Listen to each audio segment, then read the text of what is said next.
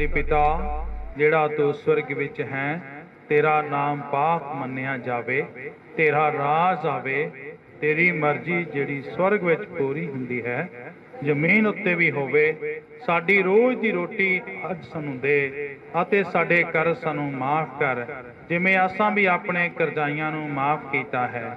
ਸਾਨੂੰ ਪਰਤਾਵੇ ਵਿੱਚ ਨਾ ਲਿਆ, ਸਗੋਂ ਹਰ ਬੁਰਾਈ ਤੋਂ ਬਚਾ, ਸਭ ਕੁਝ ਮੰਗਦੇ ਆ ਯੀਸ਼ੂ ਮਸੀਹ ਦੇ ਨਾਮ ਵਿੱਚ। ਆਮੇਨ। ਪ੍ਰਭੂ ਯੀਸ਼ੂ ਮਸੀਹ ਦੇ ਪਵਿੱਤਰ ਨਾਮ ਦੇ ਵਿੱਚ ਆਪ ਸਭ ਨੂੰ ਜੈ ਦੀ ਮਿਸ਼ਨ ਦੀ ਤਾਰੀਫ ਹੋਵੇ ਕਿ ਹੁਣ ਸਾਡੇ ਜੀਵਨ ਦੇ ਵਿੱਚ ਇੱਕ ਹੋਰ ਦਿਨ ਦਿੱਤਾ ਕਿ ਅਸੀਂ ਦੀ ਆਰਾਧਨਾ ਵਿੱਚ ਸ਼ਾਮਲ ਹੋ ਸਕੀਏ, ਅਸੀਂ ਉਹਦੇ ਨੇੜੇ ਆ ਸਕੀਏ, ਅਸੀਂ ਉਹਦੇ ਆਵਾਜ਼ ਨੂੰ ਕੰਨ ਲਾ ਕੇ ਸੁਣ ਸਕੀਏ। ਧੰਨਵਾਦ ਹੈ ਪਰਮੇਸ਼ਰ ਦਾ ਕਿ ਇੱਕ ਹੋਰ ਦਿਨ ਸਾਨੂੰ ਦਿੱਤਾ ਔਰ ਅੱਜ ਦੇ ਦਿਨ ਪੂਰੇ ਹਫ਼ਤੇ ਲਈ ਸਾਨੂੰ ਰੋਟੀਆਂ ਔਰ ਸਵਾਦਿਸ਼ਟ ਭੋਜਨ ਦੇਣ ਲਈ। ਪ੍ਰਭੂ ਦਾ ਆਤਮਾ ਤਿਆਰ ਆ, ਪਰਮੇਸ਼ਰ ਤਿਆਰ ਆ ਕਿ ਅਸੀਂ ਉਹਦੇ ਭੋਜਨ ਨੂੰ ਛਕ ਸਕੀਏ ਔਰ ਤਾਕਤ ਪਾਈਏ, ਆਤਮਿਕ ਤੌਰ ਤੇ ਮਜ਼ਬੂਤ ਹੋ ਜਾਈਏ। ਆਓ ਅਸੀਂ ਅੱਜ ਦੇ ਵਚਨ ਨੂੰ ਪੜਾਂਗੇ ਮੱਤੀ ਦੀ ਅੰਜੀਲ, ਉਹਦਾ 22 ਅਧਿਆਏ, ਮੈਥਿਊ ਚੈਪਟਰ 22 1 to 14 ਵਰਸ ਇੱਕ ਤੋਂ ਲੈ ਕੇ 14 ਆਇਤਾਂ ਮੱਤੀ 22 ਅਧਿਆਏ 1 ਤੋਂ ਲੈ ਕੇ 14 ਆਇਤਾਂ ਮੱਤੀ ਦੀ ਅੰਜੀਲ 22 ਅਧਿਆਏ ਉਹਦੇ 1 ਤੋਂ ਲੈ ਕੇ 14 ਤੱਕ ਯੀਸ਼ੂ ਨੇ ਅੱਗੋਂ ਉਹਨਾਂ ਦੇ ਨਾਲ ਦ੍ਰਿਸ਼ਟਾਂਤਾਂ ਵਿੱਚ ਫੇਰ ਵਚਨ ਕੀਤਾ ਔਰ ਕਿਹਾ ਸਵਰਗ ਦਾ ਰਾਜ ਇੱਕ ਪਾਸ਼ਾ ਵਰਗਾ ਹੈ, ਜਿਹਨੇ ਆਪਣੇ ਪੁੱਤਰ ਦਾ ਵਿਆਹ ਕੀਤਾ ਅਤੇ ਉਸ ਨੇ ਸੱਦੇ ਹੋਇਆਂ ਨੂੰ ਵਿਆਹ ਵਿੱਚ ਸੱਦਣ ਲਈ ਆਪਣੇ ਚਾਕਰਾਂ ਨੂੰ ਕੱਲਿਆ ਪਰ ਉਹ ਆਉਣ ਨੂੰ ਰਾਜ਼ੀ ਨਾ ਹੋਏ। ਫਿਰ ਉਹਨੇ ਹੋਰਨਾਂ ਚਾਕਰਾਂ ਨੂੰ ਇਹ ਕਹਿ ਕੇ ਕੱਲਿਆ ਜੋ ਸੱਦੇ ਹੋਇਆਂ ਨੂੰ ਕਹੋ ਪਈ ਵੇਖੋ, ਮੈਂ ਆਪਣਾ ਖਾਣਾ ਤਿਆਰ ਕੀਤਾ ਹੈ ਮੇਰੇ ਬੈਲ ਔਰ ਮੋٹے-ਮੋٹے ਜਾਨਵਰ ਕੋਹੇ ਗਏ ਹਨ ਅਤੇ ਸਭ ਕੁਝ ਤਿਆਰ ਹੈ, ਤੁਸੀਂ ਵਿਆਹ ਵਿੱਚ ਚੱਲੋ। ਪਰ ਉਹ ਬੇਪਰਵਾਹੀ ਕਰਕੇ ਚਲੇ ਗਏ, ਕੋਈ ਆਪਣੇ ਖੇਤ ਨੂੰ ਔਰ ਕੋਈ ਆਪਣੇ ਵਣਜ ਵਪਾਰ ਨੂੰ ਅਤੇ ਹੋਰਨਾਂ ਨੇ ਉਹਦੇ ਚਾਕਰਾਂ ਨੂੰ ਫੜ ਕੇ ਉਹਨਾਂ ਦੀ ਪਤ ਲਾਹੀ ਔਰ ਮਾਰ ਸੁੱਟਿਆ। ਤਾਂ ਪਾਤਸ਼ਾਹ ਨੂੰ ਕ੍ਰੋਧ ਆਇਆ ਅਤੇ ਉਸਨੇ ਆਪਣੀਆਂ ਫੌਜਾਂ ਘੱਲ ਕੇ ਉਹਨਾਂ ਖੂਨੀਆਂ ਦਾ ਨਾਸ਼ ਕਰ ਦਿੱਤਾ ਔਰ ਉਹਨਾਂ ਦਾ ਸ਼ਹਿਰ ਫੂਕ ਸੁੱਟਿਆ। ਤਦ ਉਹਨੇ ਆਪਣੇ ਚਾਕਰਾਂ ਨੂੰ ਆਖਿਆ, ਵਿਆਹ ਦਾ ਸਮਾਨ ਤਾਂ ਤਿਆਰ ਹੈ, ਪਰ ਸੱਦੇ ਹੋਏ ਨਲਾਇਕ ਹਨ। ਸੋ ਤੁਸੀਂ ਚੌਰਾਹਿਆਂ ਵਿੱਚ ਜਾਓ ਅਤੇ ਜਿੰਨੇ ਤੁਹਾਨੂੰ ਮਿਲਣ, ਵਿਆਹ ਵਿੱਚ ਸੱਦ ਲਿਆਓ। ਤਾਂ ਉਹ ਚਾਕਰ ਰਸਤਿਆਂ ਉੱਤੇ ਬਾਹਰ ਜਾ ਕੇ ਬੁਰੇ ਭਲੇ ਜਿੰਨੇ ਮਿਲੇ, ਸਭਨਾਂ ਨੂੰ ਇਕੱਠੇ ਕਰ ਲਿਆਏ ਅਤੇ ਵਿਆਹ ਵਾਲਾ ਘਰ ਮੇਲੀਆਂ ਨਾਲ ਭਰ ਗਿਆ। ਪਰ ਜਦ ਪਾਸ਼ਾ ਮੇਲੀਆਂ ਨੂੰ ਵੇਖਣ ਅੰਦਰ ਆਇਆ, ਤਦ ਉਥੋਂ ਇੱਕ ਮਨੁੱਖ ਨੂੰ ਡਿਠਾ, ਜਿਹੜਾ ਵਿਆਹਣਾ ਕੱਪੜਾ ਪਹਿਨਿਆ ਹੋਇਆ ਨਾ ਸੀ ਅਤੇ ਉਹਨੂੰ ਕਿਹਾ, ਭਾਈ, ਤੂੰ ਇੱਥੇ ਵਿਆਹਣੇ ਕੱਪੜੇ ਬਾਝੋਂ ਕਿਸ ਤਰ੍ਹਾਂ ਅੰਦਰ ਆਇਆ? ਪਰ ਉਹ ਚੁੱਪ ਹੀ ਰਹਿ ਗਿਆ। ਤਦ ਪਾਤਸ਼ਾਹ ਨੇ ਟੈਲੂਆਂ ਨੂੰ ਆਖਿਆ, ਇਹਦੇ ਹੱਥ ਪੈਰ ਬੰਨ ਕੇ ਇਹਨੂੰ ਬਾਹਰ ਦੇ ਅੰਧਕੋਰ ਵਿੱਚ ਸੁੱਟ ਦਿਓ। ਉੱਥੇ ਰੋਣਾ ਅਤੇ ਕਚੀਚੀਆਂ ਵਟਣਾ ਹੋਵੇਗਾ। ਕਿਉਂ ਜੋ ਸੱਦੇ ਹੋਏ ਤਾਂ ਬਹੁਤ ਹਨ, ਪਰ ਚੁਣੇ ਹੋਏ ਥੋੜੇ। ਆਓ ਅਸੀਂ ਪ੍ਰਾਰਥਨਾ ਕਰੀਏ। ਦਿਆਲੂ ਪਿਤਾ, ਸਾਡੇ ਰਚਨਹਾਰ ਪਰਮੇਸ਼ਰ ਪ੍ਰਭੂਆਂ ਦੇ ਪ੍ਰਭੂ, ਰਾਜਿਆਂ ਦੇ ਰਾਜਾ, ਸਾਡੀ ਮੁਕਤੀ ਦਾਤਾ ਖੁਦਾ ਯਿਸੂ ਮਸੀਹ। ਅਸੀਂ ਆਪ ਦਾ ਸ਼ੁਕਰ ਧੰਨਵਾਦ ਕਰਦੇ ਹਾਂ ਅੱਜ ਦੇ ਦਿਨ ਦੇ ਲਈ, ਜੋ ਤੁਸੀਂ ਅੱਜ ਦਾ ਦਿਨ ਸਾਡੇ ਜੀਵਨ ਦਿੱਤਾ। ਅਸੀਂ ਰਾਤ ਨਾਲ ਵਿੱਚ ਸ਼ਾਮਲ ਹੋਏ, ਸ਼ੁਕਰ, ਧੰਨਵਾਦ ਕਰਦੇ ਹਾਂ ਪ੍ਰਭੂ। ਰਹਿੰਦੇ ਸਮੇਂ ਨੂੰ ਤੁਹਾਡੇ ਹੱਥਾਂ ਵਿੱਚ ਸੌਂਪ ਦਿੰਦੇ ਹਾਂ। ਅੱਜ ਦੇ ਵਚਨ ਲਈ ਮੈਂ ਪ੍ਰਾਰਥਨਾ ਕਰਦਾ ਯੀਸ਼ੂ, ਤੁਸੀਂ ਕਿਹਾ ਕਿ ਤੁਸੀਂ ਮੇਰੇ ਤੋਂ ਵੱਖ ਹੋ ਕੇ ਕੁਝ ਵੀ ਨਹੀਂ ਕਰ ਸਕਦੇ। ਇਸ ਕਰਕੇ ਆਪ ਨੂੰ ਸੱਦਾ ਦੇਣਾ ਆਪ ਦੀ ਪਵਿੱਤਰ ਆਤਮਾ ਦੀ ਅਗਵਾਈ ਨੂੰ ਸੱਦਾ ਦੇਣਾ ਕਿ ਸਾਡੇ ਉੱਤੇ ਅੱਜ ਦੇ ਵਚਨ ਨੂੰ ਪ੍ਰਗਟ ਕਰੋ, ਮੈਨੂੰ ਬੋਲਣ ਵਿੱਚ। ਮੇਰੇ ਭੈਣ ਭਰਾਵਾਂ ਨੂੰ ਜਿੱਥੇ ਕਿਤੇ ਵੀ ਹਨ, ਸੁਣਨ ਤੇ ਸਮਝਣ ਵਿੱਚ ਬੁੱਧ ਸਮਝ ਦੇਣਾ ਕਿ ਹਰ ਇੱਕ ਜਨ ਤੇਰੇ ਵਚਨ ਨੂੰ ਆਪਣੇ ਹਿਰਦੇ ਵਿੱਚ ਜਮ੍ਹਾਂ ਕਰ ਲਵੇ। ਨਿਰਵਿਘਨ ਇੱਕ ਇੱਕ ਦੇ ਜੀਵਨ ਦੇ ਵਿੱਚ ਪ੍ਰਭੂ ਤੇਰਾ ਵਚਨ ਭਰਪੂਰੀ ਨਾਲ ਭਰਿਆ ਜਾਵੇ। ਰਹਿਮ ਕਰਨਾ, ਫਜ਼ਲ ਕਰਨਾ ਪ੍ਰਭੂ। ਤੇਰੀ ਕਿਰਪਾ ਨੂੰ, ਤੇਰੀ ਕਰੁਣਾ ਨੂੰ, ਤੇਰੀ ਦਇਆ ਨੂੰ ਮੈਂ ਮੰਗਦਾ ਪ੍ਰਭੂ। ਤੁਸੀਂ ਰਹਿਮ ਕਰੋ, ਫਜ਼ਲ ਕਰੋ। ਅੱਜ ਦੇ ਵਚਨ ਤੇ ਤੁਹਾਡੀ ਆਸ਼ੀਸ਼ ਬਰਕਤ ਹੈ। ਮੰਗਦਾ ਯਿਸੂ ਮਸੀਹ ਦੇ ਨਾਮ 'ਚ ਹਾਲੇਲੂਇਆ। ਪਰਮੇਸ਼ਰ ਨਾਲ ਦੀ ਤਾਰੀਫ ਹੋਵੇ।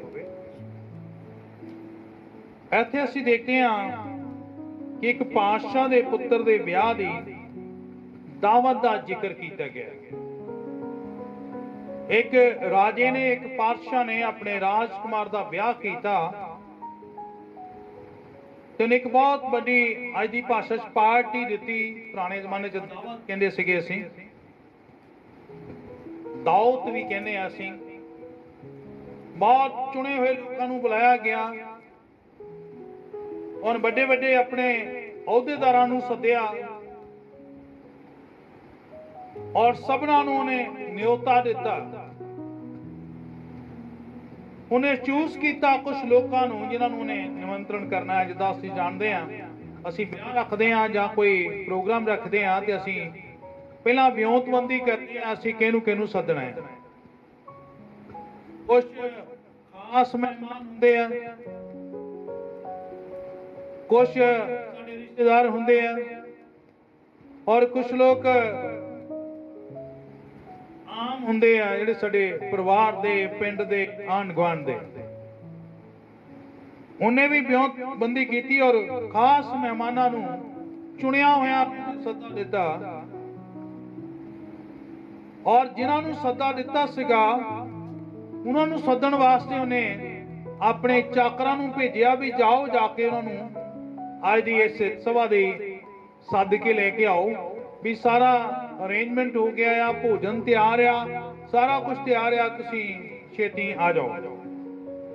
ਪਰ ਇੱਥੇ ਅਸੀਂ ਦੇਖਦੇ ਕੀ ਆ ਕਿ ਜਿਨ੍ਹਾਂ ਨੂੰ ਸੱਦਾ ਦਿੱਤਾ ਸੀਗਾ, ਸਾਰੇ ਬਹਾਨੇ ਮਾਰ ਕੇ ਆਪੋ ਆਪਣੇ ਕੰਮਾਂ ਚਲੇ ਗਏ। ਉਹਨਾਂ ਨੇ ਉਸ ਬੰਦੇ ਦਾ ਸੱਦਾ ਸਵੀਕਾਰ ਤਾਂ ਕਰ ਲਿਆ ਸੀ, ਕਾਰਡ ਤਾਂ ਲੈ ਲਿਆ ਸੀਗਾ। ਪਰ ਗੰਭੀਰਤਾ ਨਾਲ ਨਾ ਤਾਂ ਉਹਨਾਂ ਨੇ ਤਿਆਰੀ ਕੀਤੀ, ਨਾ ਉਹਨਾਂ ਨੇ ਦਾਵਤ ਸ਼ਾਮਲ ਹੋਣ ਦੇ ਲਈ ਆਪਣੇ ਆਪ ਨੂੰ ਸਮਰਪਿਤ ਕੀਤਾ। ਇੱਥੇ ਅਸੀਂ ਦੇਖਦੇ ਹਾਂ ਕਿ ਤਿੰਨ ਗੱਲਾਂ ਆ, ਪਾਤਸ਼ਾਹ, ਪੁੱਤਰ ਤੇ ਮਹਿਮਾਨ। ਪੁੱਤਰ ਦਾ ਵਿਆਹ ਆ। ਪਾਤਸ਼ਾਹ ਕੌਣ ਆ? ਜਿਹੜਾ ਪਾਤਸ਼ਾਹ ਆ, ਉਹ ਪਰਮੇਸ਼ਰ ਦਾ ਪ੍ਰਤੀਰੂਪ ਆ। ਉਹ ਪਰਮੇਸ਼ਰ ਨੂੰ ਪ੍ਰਗਟ ਕਰਦਾ ਆ। ਪੁੱਤਰ ਕੌਣਿਆ ਆ? ਯੀਸ਼ੂ ਮਸੀਹ। ਯੀਸ਼ੂ ਦੇ ਦੁਆਰਾ ਪਰਮੇਸ਼ਰ ਨੇ ਮਹਿਮਾਨ ਕੌਣਿਆ ਉਸ ਵੇਲੇ ਯਹੂਦੀ, ਜਿੱਥੇ ਦੀ ਗੱਲ ਕੀਤੀ ਗਈ। ਜਿਹੜੇ ਚੁਣੇ ਗਏ ਸੀਗੇ, ਹਜ਼ਾਰਾਂ ਬਰਿਆਂ ਤੋਂ ਉਹਨਾਂ ਨੇ ਪਰਮੇਸ਼ਰ ਕੋਲੋਂ ਬਰਕਤਾਂ ਪਾਈਆਂ, ਆਸ਼ਾਂ ਪਾਈਆਂ। ਔਰ ਪਰਮੇਸ਼ਰ ਉਹਨਾਂ ਨੂੰ ਚਲਾਉਂਦਾ ਰਿਹਾ।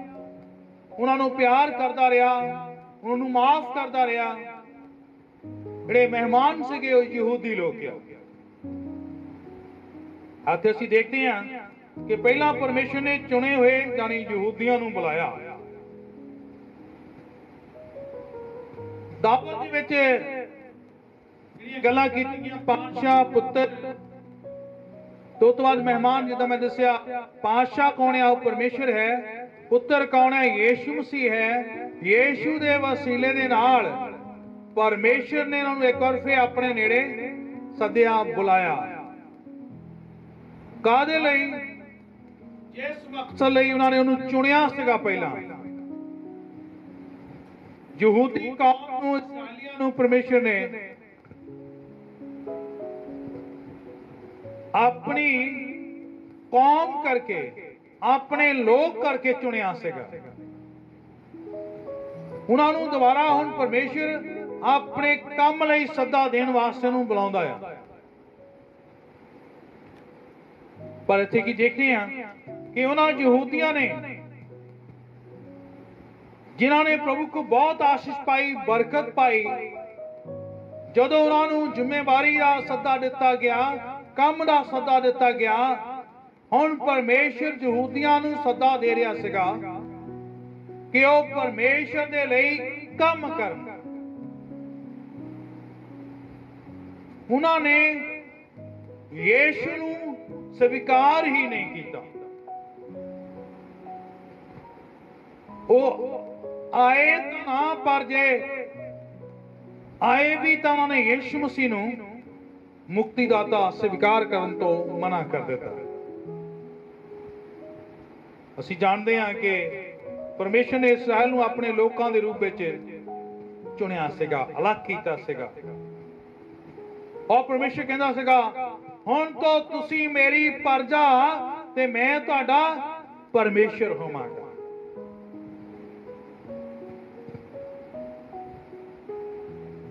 ਆਪਣੇ ਲਈ ਅਲੱਗ ਕੀਤਾ ਸੀਗਾ। ਇੱਥੇ ਵੀ ਰਾਜੇ ਨੇ ਉਹਨਾਂ ਲੋਕਾਂ ਨੂੰ ਜਿਹਨਾਂ ਨੂੰ ਚੁਣਿਆ ਸੀਗਾ। ਜਿਨ੍ਹਾਂ ਨੂੰ ਪਹਿਲਾਂ ਸੱਦਾ ਦਿੱਤਾ ਸੀਗਾ, ਉਹਨਾਂ ਨੂੰ ਸੱਦਾ ਦੁਬਾਰਾ ਭੇਜਿਆ ਕਿ ਆ ਜਾਓ ਹੁਣ। ਯਹੂਦੀਆਂ ਨੇ ਵੀ ਜਿਨ੍ਹਾਂ ਨੂੰ ਪਹਿਲਾਂ ਸੱਦਾ ਦਿੱਤਾ ਹੋਇਆ ਸੀਗਾ, ਉਹਨੂੰ ਦੁਬਾਰਾ ਸੱਦਿਆ, ਉਹ ਹੁਣ ਕੰਮ ਕਰੀਏ। ਅੱਜ ਮਸੀਹ ਦੇ ਵਿੱਚ ਵੀ ਇਹ ਗੱਲ ਆਮ ਦੇਖੀ ਜਾਂਦੀ ਹੈ। ਜਿਹੜੇ ਸੱਦੇ ਹੋਏ ਆ, ਜਿਹੜੇ ਚੁਣੇ ਹੋਏ ਆ ਜਦੋਂ ਪਰਮੇਸ਼ਰ ਉਹਨਾਂ ਨੂੰ ਆਵਾਜ਼ ਮਾਰਨਾ ਚਾਹੁੰਦਾ, ਆਵਾਜ਼ ਮਾਰਦਾ ਆ, ਉਹ ਬਹਾਨਾ ਮਾਰ ਕੇ ਕੋਈ ਇਧਰ ਨੂੰ ਨਿਕਲ ਜਾਂਦਾ, ਕੋਈ ਇਧਰ ਨੂੰ ਨਿਕਲ ਜਾਂਦਾ। ਉਹ ਆਪਣੇ ਸੱਦੇ ਲਈ ਗੰਭੀਰ ਨਹੀਂ ਹੁੰਦੇ। ਯਹੂਦੀਆਂ ਨੇ ਇਸ ਤਰ੍ਹਾਂ ਹੀ ਕੀਤਾ।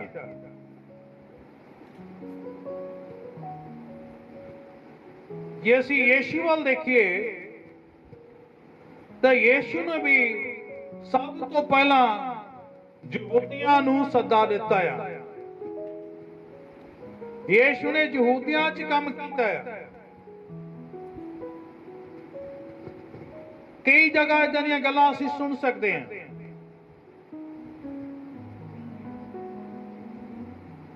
ਕਈ ਜਗ੍ਹਾ ਯੀਸ਼ੂ ਨੇ ਕਿਹਾ ਕਿ ਤੁਸੀਂ ਜੁਦਾ ਸਾਮਰੀਆ ਤੋਂ ਬਾਹਰ ਨਾ ਜਾਣਾ। ਪਹਿਲਾਂ ਯੀਸ਼ੂ ਨੇ ਜਿਹੜੇ ਸੱਦੇ ਹੋਏ ਸੀਗੇ, ਉਹਨਾਂ ਨੂੰ ਸੱਦਾ ਦਿੱਤਾ, ਅੱਜ ਵੀ ਸੱਦਾ ਦਿੰਦਾ ਹੈ ਜਿੱਦਾਂ ਯਹੂਦੀਆਂ ਨੇ ਬਚਪਨ ਤੋਂ ਲੈ ਕੇ ਹਜ਼ਾਰਾਂ ਬਰਿਆਂ ਤੱਕ ਪਰਮੇਸ਼ਰ ਨਾਲ ਬਰਕਤਾਂ ਪਾਈਆਂ, ਉਹ ਬਰਕਤਾਂ ਨਾਲ ਭਰ ਗਏ। ਪਰ ਜਦੋਂ ਪਰਮੇਸ਼ਰ ਨੇ ਉਹਨਾਂ ਨੂੰ ਆਪਣੇ ਕੰਮ ਲਈ ਸੱਦਾ ਦਿੱਤਾ, ਉਹ ਬਹਾਨਾ ਮਾਰ ਕੇ ਇੱਧਰ ਉੱਧਰ ਨਿਕਲ ਗਏ। ਅੱਜ ਅਸੀਂ ਮਸੀਹੀ ਵੀ ਪਰਮੇਸ਼ਰ ਨਾਲ ਵਫਾਦਾਰੀ ਨਹੀਂ ਨਿਭਾਉਂਦੇ। ਅਸੀਂ ਉਹਦੇ ਸੱਦੇ ਨੂੰ ਸਵੀਕਾਰ ਤਾਂ ਕਰਦੇ ਹਾਂ। ਪਰ ਬਰਕਤ ਲੈਣ ਤੱਕ ਸੰਸਾਰ ਦੇ ਸੁੱਖ ਸਾਧਨ ਲੈਣ ਤੱਕ ਦੁੱਖ ਦੀ ਗੱਲ ਆ ਅੱਜ ਚਰਚ ਜਿਹੜਾ ਆ, ਇਸ ਗੱਲ 'ਚ ਉਲਝ ਕੇ ਰਹਿ ਗਿਆ। ਪਾਦਰੀ ਵੀ ਬਰਕਤ ਵੰਡਣ 'ਚ ਲੱਗਾ ਹੋਇਆ ਔਰ ਵਿਸ਼ਵਾਸੀ ਵੀ ਬਰਕਤਾਂ ਲੈਣ 'ਚ ਲੱਗਾ ਹੋਇਆ। ਇਹ ਕੋਈ ਗਲਤ ਗੱਲ ਨਹੀਂ ਹੈ ਕਿ ਪਾਦਰੀ ਬਰਕਤ ਦਾ ਪ੍ਰਚਾਰ ਕਰੇ ਜਾਂ ਵਿਸ਼ਵਾਸੀ ਬਰਕਤ ਨੂੰ ਲੈਣ। ਗਲਤ ਗੱਲ ਨਹੀਂ ਹੈ। ਪਰ ਜਿਹੜੀ ਪਹਿਲੀ ਮੇਨ ਗੱਲ ਆ, ਜਿਹਦੇ ਲਈ ਸਾਡਾ ਸੱਦਾ ਆ, ਸਾਡੀ ਬੁਲਾਹਟ ਆ ਕਦ ਲਈ ਸਾਡੀ ਬੁਲਾਹਟ ਆ ਕਹਿੰਦਾ, ਧਰਤੀ ਦੇ ਬੰਨੇ ਤੀਕਰ ਜਾਓ ਤੇ ਸਾਰੀਆਂ ਕੌਮਾਂ ਨੂੰ ਪਿਤਾ ਪੁੱਤਰ ਪਵਿੱਤਰ ਆਤਮਾ ਦੇ ਨਾਮ ਦੇ ਵਿੱਚ ਬੈਪਟਿਜ਼ਮ ਦਿਓ। ਤੇ ਉਹਨਾਂ ਨੂੰ ਉਹ ਸਾਰੀਆਂ ਗੱਲਾਂ ਸਿਖਾਓ, ਜਿਹੜੀਆਂ ਮੈਂ ਤੁਹਾਨੂੰ ਕਹੀਆਂ। ਉਹ ਵੇਖੋ, ਮੈਂ ਜੁਗਾਂ ਦੇ ਅੰਤ ਤੱਕ ਤੁਹਾਡੇ ਨਾਲ ਹਾਂ। ਅਜੀ ਸੱਚਮੁੱਚ ਯਹੂਦੀਆਂ ਨੂੰ ਸੱਦਿਆ ਗਿਆ ਸੀਗਾ, ਪਰ ਜਦੋਂ ਕੰਮ ਲਈ ਸੱਦਾ ਦਿੱਤਾ ਗਿਆ, ਉਹ ਭੱਜ ਗਏ, ਬਹਾਨੇ ਮਾਰ ਕੇ। ਉਹਨਾਂ ਨੇ ਚੇਲਿਆਂ ਦਾ ਵਿਰੋਧ ਕੀਤਾ। ਜਦੋਂ ਪਰਮੇਸ਼ਰ ਯਿਸੂ ਦੇ ਦੁਆਰਾ ਲੋਕਾਂ ਨੂੰ ਆਪਣੇ ਕੰਮ ਲਈ ਵਰਤਣਾ ਚਾਹੁੰਦਾ ਸੀਗਾ, ਆਪਣੇ ਸਾਧਨ ਬਣਾਉਣਾ ਚਾਹੁੰਦਾ ਸੀਗਾ, ਆਪਣੇ ਬਰਤਨਯੋਗ ਭਾਂਡੇ ਬਣਾਉਣਾ ਚਾਹੁੰਦਾ ਸੀਗਾ, ਉਸ ਵੇਲੇ ਜਿਹੜੇ ਚੁਣੇ ਹੋਏ ਸੀਗੇ, ਸੱਦੇ ਹੋਏ ਸੀਗੇ, ਉਹਨਾਂ ਨੇ ਹਿਲਜੁਲ ਨਾ ਕੀਤੀ, ਪਰਮੇਸ਼ਰ ਦੀ ਆਵਾਜ਼ ਨਾ ਸੁਣੀ। ਫਿਰ ਉਸ ਤੋਂ ਬਾਅਦ ਕੀ ਹੋਇਆ? ਜਦੋਂ ਉਹਦੇ ਘਰ ਦੇ ਵਿੱਚ ਰਾਜੇ ਦੇ ਮਹਿਲ ਦੇ ਵਿੱਚ ਸੱਦੇ ਹੋਏ, ਨਾ ਆਏ, ਜਿਨ੍ਹਾਂ ਨੇ ਸਾਲਾਂ ਬੱਧੀ ਪਰਮੇਸ਼ਰ ਕੋਲੋਂ ਬਰਕਤਾਂ ਪਾਈਆਂ, ਰੁਤਬੇ ਪਾਏ, ਜੀਵਨ ਪਾਇਆ, ਸੰਸਾਰ ਦੇ ਸੁਖ ਸਾਧਨ ਪਾਏ, ਸਮਾਜ ਵਿੱਚ ਇੱਕ ਉੱਚਾ ਰੁਤਬਾ ਪਾਇਆ। ਨਾ ਆਏ ਤਾਂ ਰਾਜੇ ਨੂੰ ਬਹੁਤ ਗੁੱਸਾ ਆਇਆ। ਤੇ ਲਿਖਿਆ ਰਾਜੇ ਨੇ ਆਪਣੀਆਂ ਫੌਜੀਆਂ ਨੂੰ ਭੇਜ ਕੇ ਉਹਨਾਂ ਦਾ ਨਾਸ਼ ਕਰ ਦਿੱਤਾ। ਜਿਹੜੇ ਸੱਦੇ ਹੋਏ ਸੀ, ਚੁਣੇ ਹੋਏ ਸੀ, ਉਹਨਾਂ ਦਾ ਨਾਸ਼ ਕਰ ਦਿੱਤਾ। ਅਜੀਜੋ ਪਰ ਸਾਡਾ ਪਰਮੇਸ਼ਰ ਪਿਆਰ ਦਾ ਪਰਮੇਸ਼ਰ ਹੈ। ਇਸ ਵੇਲੇ ਕਿਰਪਾ ਦਾ ਸਮਾਂ ਆ। ਇਹ ਸਾਡੇ ਉੱਤੇ ਇੱਕਦਮ ਵਿਪਤਾ ਅੱਜ ਨਹੀਂ ਆਉਂਦੀ। ਜਦੋਂ ਅਸੀਂ ਪਰਮੇਸ਼ਰ ਦੀ ਆਵਾਜ਼ ਨਹੀਂ ਸੁਣਦੇ, ਇੱਕਦਮ ਪਰਮੇਸ਼ਰ ਸਾਡਾ ਨਾਸ਼ ਨਹੀਂ ਕਰਦਾ, ਪਹਿਲੇ ਦਿਨ ਆਈ। ਪੁਰਾਣੇ ਨੇਮ ਕਹਿੰਦੇ ਸੀਗਾ। ਜਦੋਂ ਅਸੀਂ ਪਰਮੇਸ਼ਰ ਨੂੰ ਛੱਡਦੇ ਸੀ, ਪਰਮੇਸ਼ਰ ਸਾਨੂੰ ਛੱਡ ਦਿੰਦਾ ਸੀਗਾ ਔਰ ਸਾਨੂੰ ਗੁਲਾਮੀ ਵਿੱਚ ਸੁੱਟ ਦਿੰਦਾ ਸੀਗਾ, ਧੱਕ ਦਿੰਦਾ ਸੀਗਾ ਉਹਨਾਂ ਲੋਕਾਂ ਦੇ ਵਿੱਚ, ਜਿਹੜੇ ਬਿਲਕੁਲ ਗੈਰ ਕੌਮਾਂ ਸੀਗੀਆਂ, ਉਹਨਾਂ ਦੀ ਗੁਲਾਮੀ 'ਚ ਧੱਕ ਦਿੰਦਾ ਸੀਗਾ ਕਿ ਅਸੀਂ ਮੁੜੀਏ। ਅੱਜ ਇੱਕਦਮ ਰਾਜੇ ਨੇ ਜਿੱਦਾਂ ਨਾਸ਼ ਕੀਤਾ ਇਦਾਂ ਨਾਸ਼ ਪਰਮੇਸ਼ਰ ਨਹੀਂ ਕਰਦਾ। ਅਜੀਜੋ, ਪਰ ਜਦੋਂ ਅਸੀਂ ਪਰਮੇਸ਼ਰ ਦੀ ਆਵਾਜ਼ ਨੂੰ ਸੁਣਨਾ ਬੰਦ ਕਰ ਦਈਏ, ਉਹਦੇ ਕੰਮ ਦੇ ਲਈ ਸਮਰਪਣ ਬੰਦ ਕਰ ਦਈਏ, ਵਫਾਦਾਰੀ ਨਾ ਰਹੀਏ ਔਰ ਆਗਿਆਕਾਰ ਨਾ ਰਹੀਏ, ਅਧੀਨ ਨਾ ਰਹੀਏ, ਤਾਂ ਸੱਚਮੁੱਚ ਵੱਡੀ ਵਿਪਤਾ ਦੀ ਆਮਦ ਹੈ। ਸਾਡੇ ਵਿਸ਼ਵਾਸ ਵੀ ਚੁਰਾਇਆ ਜਾ ਸਕਦਾ ਆ, ਸਾਡਾ ਜੀਵਨ ਵੀ ਖੋਇਆ ਜਾ ਸਕਦਾ ਆ, ਸਾਨੂੰ ਸਤਰਕ ਹੋਣ ਦੀ ਲੋੜ ਆ। ਜਿੱਦਾਂ ਯਹੂਦੀਆਂ ਨਾਲ ਹੋਇਆ? ਉਹ ਘਰਾਣਾ, ਉਹ ਕੌਮ, ਉਹ ਇੱਕ ਪੂਰਾ ਪੂਰਾ ਝੁੰਡ ਜਿਨ੍ਹਾਂ ਨੂੰ ਪਰਮੇਸ਼ਰ ਕਹਿੰਦਾ ਸੀਗਾ, ਮੇਰੀ ਪਰਜਾ ਜਿਨ੍ਹਾਂ ਦੇ ਦਰਮਿਆਨ ਚੱਲਦਾ ਸੀਗਾ, ਜਿਨ੍ਹਾਂ ਨੂੰ ਖਾਣ ਨੂੰ ਦਿੱਤਾ, ਪਹਿਨਣ ਨੂੰ ਦਿੱਤਾ, ਮੁਸ਼ਕਲਾਂ ਤੋਂ ਆਰਾਮ ਦਿੱਤਾ, ਬਿਮਾਰੀਆਂ ਤੋਂ ਛੁਟਕਾਰਾ ਦਿੱਤਾ ਔਰ ਸਮੁੰਦਰ ਨੂੰ ਪਾਰ ਕਰਨ ਵਾਸਤੇ ਪਾੜ ਕੇ ਨਿਗਾਹ ਲਿਆ। ਉਹਨਾਂ ਨੂੰ ਆਵਾਜ਼ ਮਾਰਦਾ ਪਰ ਉਹ ਇਨਕਾਰ ਕਰ ਜਾਂਦੇ ਉਹਨਾਂ ਨੇ ਚੇਲਿਆਂ ਦਾ ਵਿਰੋਧ ਕੀਤਾ, ਯੀਸ਼ੂ ਦਾ ਵਿਰੋਧ ਕੀਤਾ ਔਰ ਉਹਨੇ ਚੇਲਿਆਂ ਤੇ ਯੀਸ਼ੂ ਨੂੰ ਕਤਲ ਕਰ ਦਿੱਤਾ।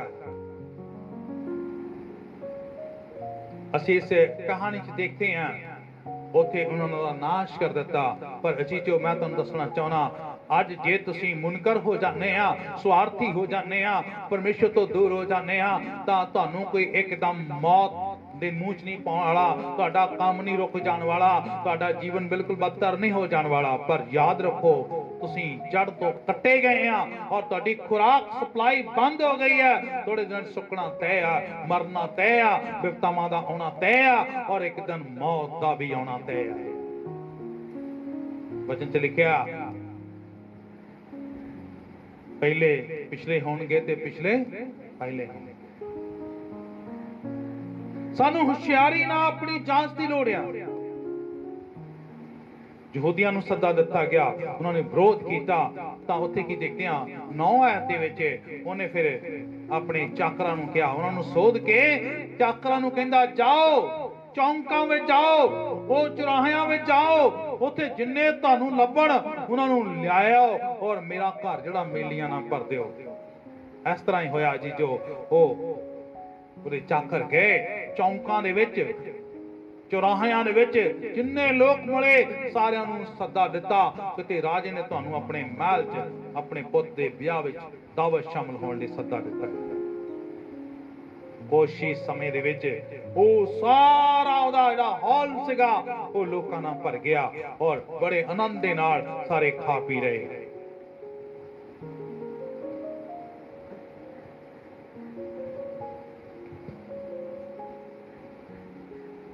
ਇਹਦਾ ਮਤਲਬ ਕੀ ਹੈ? ਜੇ ਅਸੀਂ ਮੱਤੀ 8ਵਾਂ ਦੇ ਉਹਦੀ 11 ਆਇਤ ਨੂੰ ਪੜ੍ਹ ਲੈਂਦੇ ਹਾਂ। ਇਹੋ ਵਚਨ ਹੈ, ਜੋ ਯੀਸ਼ੂ ਮਸੀਹ ਨੇ ਨਬੂਵਤ ਕੀਤੀ ਸੀਗੀ। ਕਿ ਜਿਨ੍ਹਾਂ ਨੂੰ ਮੈਂ ਸੱਦਾ ਦਿੱਤਾ ਆ, ਉਹ ਮੇਰੇ ਸੱਦਣ ਤੇ ਜੇ ਨਾ ਆਏ, ਤਾਂ ਮੈਂ ਉਹਨਾਂ ਲੋਕਾਂ ਨੂੰ ਸੱਦਾਂਗਾ। ਧਿਆਨ ਨਾਲ ਸੁਣਨਾ ਇੱਥੇ। 8 ਦੀ 11 ਹੈ। ਮੱਤੀ ਦੀ ਅੰਜੀਲ 8ਵਾਂ ਅਧਿਆਇ ਉਹਦੀ ਕਰ 11 ਆਇਤ।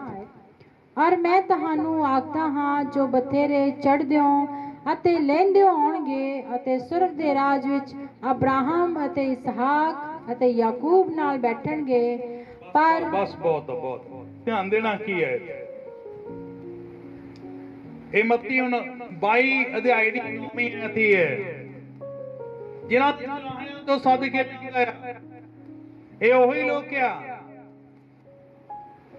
ਇਸ ਨੇ ਆਖਿਆ, ਮੈਂ ਤੁਹਾਨੂੰ ਆਖਦਾ ਆ ਬਥੇਰੇ ਚੜਦੇ ਹੋ ਤੇ ਲੈਂਦਿਓ ਆਉਣਗੇ ਔਰ ਸੁਰਗ ਦੇ ਰਾਜ ਵਿੱਚ ਅਬਰਾਹਮ ਅਤੇ ਇਸਾਕ ਅਤੇ ਯਾਕੂਬ ਦੇ ਨਾਲ ਬੈਠਣਗੇ। ਹੁਣ ਪਤਾ ਸੀਗਾ ਕਿ ਇਹ ਕੀ ਕਰ ਰਹੇ ਆ। ਫਰੀਸੀਆਂ ਸਲੂਕਿਆਂ ਦਾ ਜੀਵਨ ਕਿੰਨਾ ਕੁ ਦਿਖਾਵੇ ਵਾਲਾ ਆ। ਕਿਦਾਂ ਦੀ ਧਾਰਮਿਕਤਾ ਲੈ ਕੇ ਚੱਲਦੇ ਆ। ਉਸ ਵੇਲੇ ਯਿਸੂ ਮਸੀਹ ਦੱਸ ਰਿਹਾ ਸੀਗਾ, ਹੁਣ ਪਰਮੇਸ਼ਰ ਸਾਰੀ ਧਰਤੀ ਦੀਆਂ ਕੌਮਾਂ ਨੂੰ ਬੁਲਾਉਣ ਜਾ ਰਿਹਾ ਆ। ਉਹਦੇ ਆਪਣੇ ਸੱਦੇ ਨੇ, ਸੱਦੇ ਨੂੰ ਸਵੀਕਾਰ ਤਾਂ ਕਰ ਲਿਆ, ਪਰ ਉਹ ਆਏ। ਵਫਾਦਾਰ ਨਾ ਰਹੇ ਆਗਿਆ ਕਰਨਾ ਰਹੇ, ਅਧੀਨ ਨਾ ਰਹੇ, ਜੜ ਨਾਲ ਜੁੜੇ ਨਾ ਰਹੇ, ਤਾਂ ਪਰਮੇਸ਼ਰ ਨੇ ਫਿਰ ਚੜ੍ਹਦੇ ਲੋਕਾਂ ਨੂੰ ਇਕੱਠਿਆਂ ਕਰਨਾ ਸ਼ੁਰੂ ਕੀਤਾ।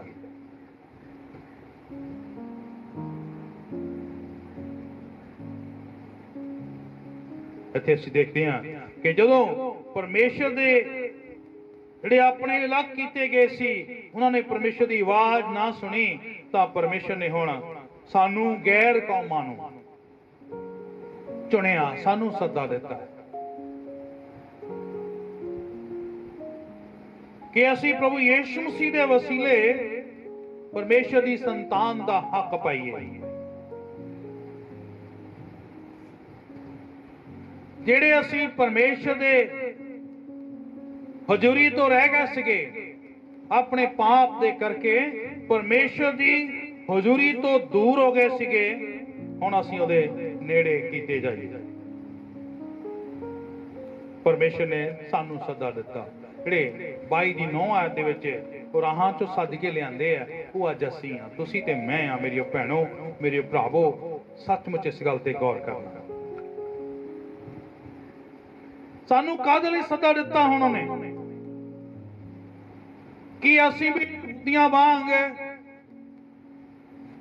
ਬਰਕਤਾਂ ਲੈ ਕੇ, ਆਸ਼ੀਸ਼ਾਂ ਲੈ ਕੇ ਔਰ ਪਰਮੇਸ਼ਰ ਤੋਂ ਜਦੋਂ ਉਹਨੇ ਸੱਦਾ ਦਿੱਤਾ ਵੀ ਆ ਜਾਓ ਹੁਣ, ਪਹਿਲਾਂ ਕਹਿੰਦਾ ਕਾਰਡ ਲੈ ਕੇ ਰੱਖ ਲੈ ਨੂੰ ਆਵਾਂਗੇ ਜੀ। ਤੋਬਾ ਕਰ ਲਈ, ਬਪਤਿਸਮਾ ਲੈ ਲਿਆ, ਬਰਕਤ ਲੈ ਲਈ, ਸਭ ਕੁਝ ਲੈ ਲਿਆ। ਪਰ ਜਦੋਂ ਜ਼ਿੰਮੇਵਾਰੀ ਦਾ ਸਮਾਂ ਆਇਆ ਦੇਰ ਵਿੱਚ ਹਿੱਸਾ ਹੋਣ ਦਾ ਪਰਮੇਸ਼ਰ ਦੇ ਕੰਮ ਨੂੰ ਅੱਗੇ ਲੈ ਕੇ ਜਾਣ ਦਾ ਸਮਾਂ ਆਇਆ। ਉਦੋਂ ਬਹਾਨਾ ਮਾਰ ਕੇ ਪਾਸੇ ਨੂੰ ਹੋ ਗਏ। ਕਿਸੇ ਨੇ ਸਿਹਤ ਦਾ ਬਹਾਨਾ ਮਾਰਿਆ, ਕਿਸੇ ਨੇ ਵਣਜ ਵਪਾਰ ਦਾ ਬਹਾਨਾ ਮਾਰਿਆ, ਕਿਸੇ ਨੇ ਆਪਣੇ ਕੰਮ ਦਾ ਬਹਾਨਾ ਮਾਰਿਆ। ਪਰ ਅਜੀਜੋ, ਅੱਜ ਪਰਮੇਸ਼ਰ ਨੇ ਸਾਨੂੰ ਗੈਰ ਕੌਮਾਂ ਨੂੰ ਤੁਹਾਨੂੰ ਤੇ ਮੈਨੂੰ ਸੱਦਾ ਦਿੱਤਾ ਆ। ਦੁਬਾਰਾ ਸੱਦਾ ਦਿੱਤਾ ਆ। ਅਸੀਂ ਸੱਦੇ ਹੋਏ ਆ, ਚੁਣੇ ਹੋਏ ਆ, ਅਲੱਗ ਕੀਤੇ ਗਏ ਆ। ਸਾਡਾ ਪਰਮੇਸ਼ਰ ਕਹਿੰਦਾ? ਤੁਸੀਂ ਮੈਨੂੰ ਨਹੀਂ, ਪਰ ਮੈਂ ਤੁਹਾਨੂੰ ਚੁਣਿਆ ਤੇ ਠਹਿਰਾਇਆ। ਭਈ ਜਾਓ, ਜਾ ਕੇ ਫਲ ਲਿਆਓ। ਜਦੋਂ ਸਾਨੂੰ ਸੱਦਾ ਦਿੱਤਾ ਸੀਗਾ ਉਦੋਂ ਨੇ ਕਿਹਾ ਸੀਗਾ ਕਿ ਤੁਸੀਂ ਕੀ ਕੀ ਕਰਨਾ ਹੈ? ਸਾਡਾ ਅੱਜ ਸੱਦਾ ਹੈ, ਤਾਂ ਜੋ ਅਸੀਂ ਯੀਸ਼ੂ ਦੁਆਰਾ ਸ਼ੁਰੂ ਕੀਤੇ ਗਏ ਮੁਕਤੀ ਅਤੇ ਮਿਲਾਪ ਦੇ ਕੰਮ ਨੂੰ ਹੁਣ ਅਸੀਂ ਪੂਰਾ ਕਰੀਏ।